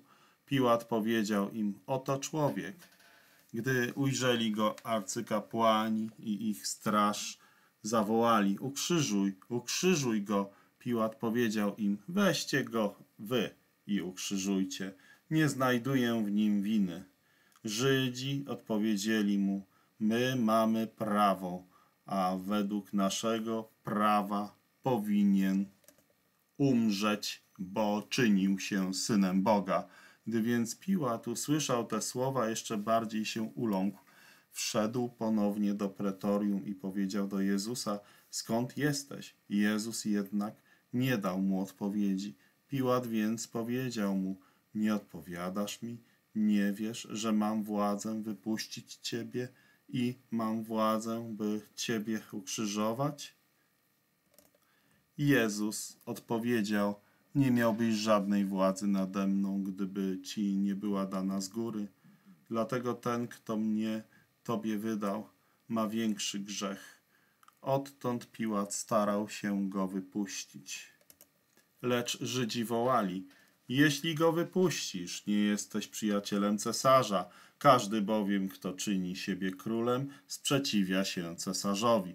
Piłat więc, słysząc te słowa, wyprowadził Jezusa na zewnątrz i zasiadł na krześle sędziowskim w miejscu zwanym Kamienny Bruk, a po hebrajsku Gabbata.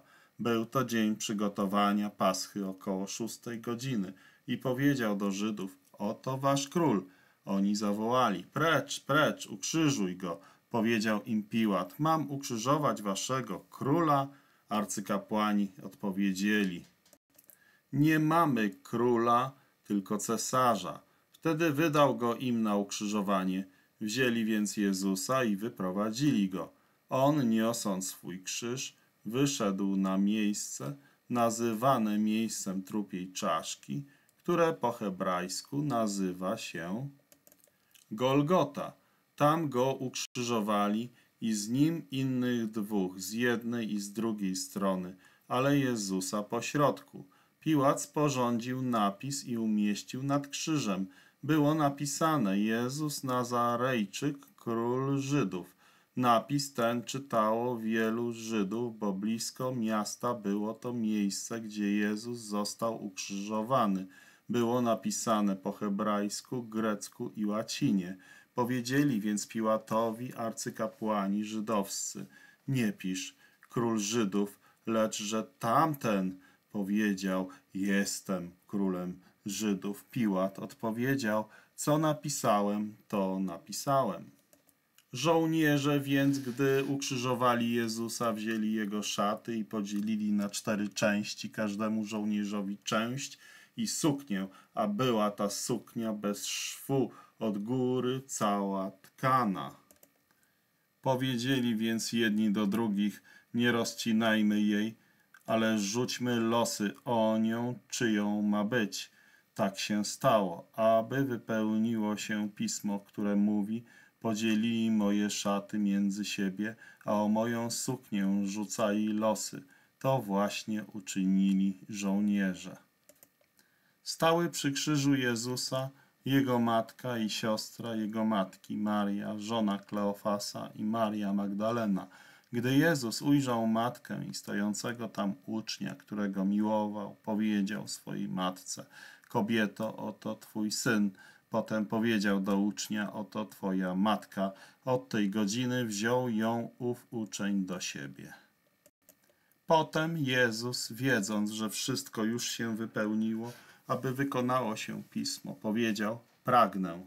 Było tam naczynie pełne octu. Oni napełnili gąbkę octem i obłożyli wokół hyzopu, podając mu do ust. A gdy Jezus przyjął ocet, powiedział: Dokonało się, i skłoniwszy głowę, przekazał ducha. Żydzi więc, aby ciała nie pozostały na krzyżu w dzień odpoczynku, ponieważ był to dzień przygotowania, bo wielki był ten dzień odpoczynku. Prosili Piłata, aby im połamano golenie i ściągnięto ich. Przyszli więc żołnierze, pierwszemu złamali golenie i innemu współukrzyżowanemu z nim. Gdy podeszli do Jezusa, widząc, że już umarł, nie łamali jego goleni. Jeden z żołnierzy włócznią przebił jego bok i zaraz wyszła krew i woda. Ten, który to widział, świadczy o tym, a jego świadectwo jest prawdziwe i on wie, że mówi prawdę, abyście wy także wierzyli. Stało się to, aby wypełniło się pismo. Kość jego nie będzie złamana. Ponownie inne miejsce pisma mówi: Ujrzą tego, którego przebili. Potem Józef z Arymatei, który ze strachu przed Żydami był ukrytym uczniem Jezusa, prosił Piłata, żeby mógł zdjąć ciało Jezusa. Pozwolił Piłat. Poszedł więc i zdjął ciało Jezusa. Przyszedł też Nikodem, ten, który wcześniej przybył w nocy do Jezusa, niosąc około stu funtów mieszaniny z mirry i aloesu. Wzięli więc ciało Jezusa i zawinęli je w płótna z wonnościami, według zwyczaju pogrzebu, jaki jest u Żydów. Tym miejscu, gdzie go ukrzyżowano, był ogród, a w ogrodzie nowy grobowiec, w którym jeszcze nikt nie został położony. Tam, z powodu żydowskiego dnia przygotowania, złożono Jezusa, bo grobowiec był blisko. Pierwszego dnia tygodnia Maria Magdalena przyszła rano do grobowca, gdy jeszcze było ciemno i ujrzała odsunięty kamień od grobu. Przybiegła do Szymona, Piotra i do drugiego ucznia, którego miłował Jezus, powiedziała im: Wzięli pana z grobowca i nie wiemy, gdzie go położyli. Piotr i ten drugi uczeń przybyli do grobu, biegli obaj razem, lecz ten drugi uczeń wyprzedził Piotra i pierwszy przyszedł do grobu. Nachyliwszy się, ujrzał leżące płótna, jednak nie wszedł. Szymon Piotr przybył po nim, wszedł do grobu i ujrzał leżące płótna i chustkę, która była na jego głowie, nie leżącą razem z płótnami, ale osobno zwiniętą na jednym miejscu. Wtedy wszedł też drugi uczeń, który przybył pierwszy do grobu i zobaczył i uwierzył, bo jeszcze nie rozumieli pisma, że musi zmartwychwstać. Odeszli zatem ponownie uczniowie do siebie. Maria stała, płacząc na zewnątrz przy grobowcu. Gdy płakała, nachyliła się do grobowca i ujrzała dwóch aniołów w bieli siedzących, jednego u głowy, a drugiego u nóg, gdzie leżało ciało Jezusa. Oni powiedzieli jej, kobieto, dlaczego płaczesz? Odpowiedziała im, bo wzięli mojego Pana i nie wiem, gdzie go położyli. Gdy to powiedziała, odwróciła się i ujrzała stojącego Jezusa, a nie wiedziała, że to jest Jezus. Jezus powiedział do niej, kobieto, dlaczego płaczesz? Kogo szukasz? Ona, uważając, że jest to ogrodnik, powiedziała mu, Panie, jeśli ty go wziąłeś, powiedz mi, gdzie go położyłeś, a go wezmę. Jezus powiedział jej, Mario. Ona, gdy się obróciła, powiedziała mu po hebrajsku, Rabbuni, co wykłada się, nauczycielu. Jezus powiedział jej, nie dotykaj mnie, bo jeszcze nie wstąpiłem do mojego Ojca, ale idź do moich braci i powiedz im, wstępuję do Ojca mojego i Ojca waszego, do Boga mojego i Boga waszego. Maria Magdalena przyszła, mówiąc uczniom, że widziała Pana i że to jej powiedział.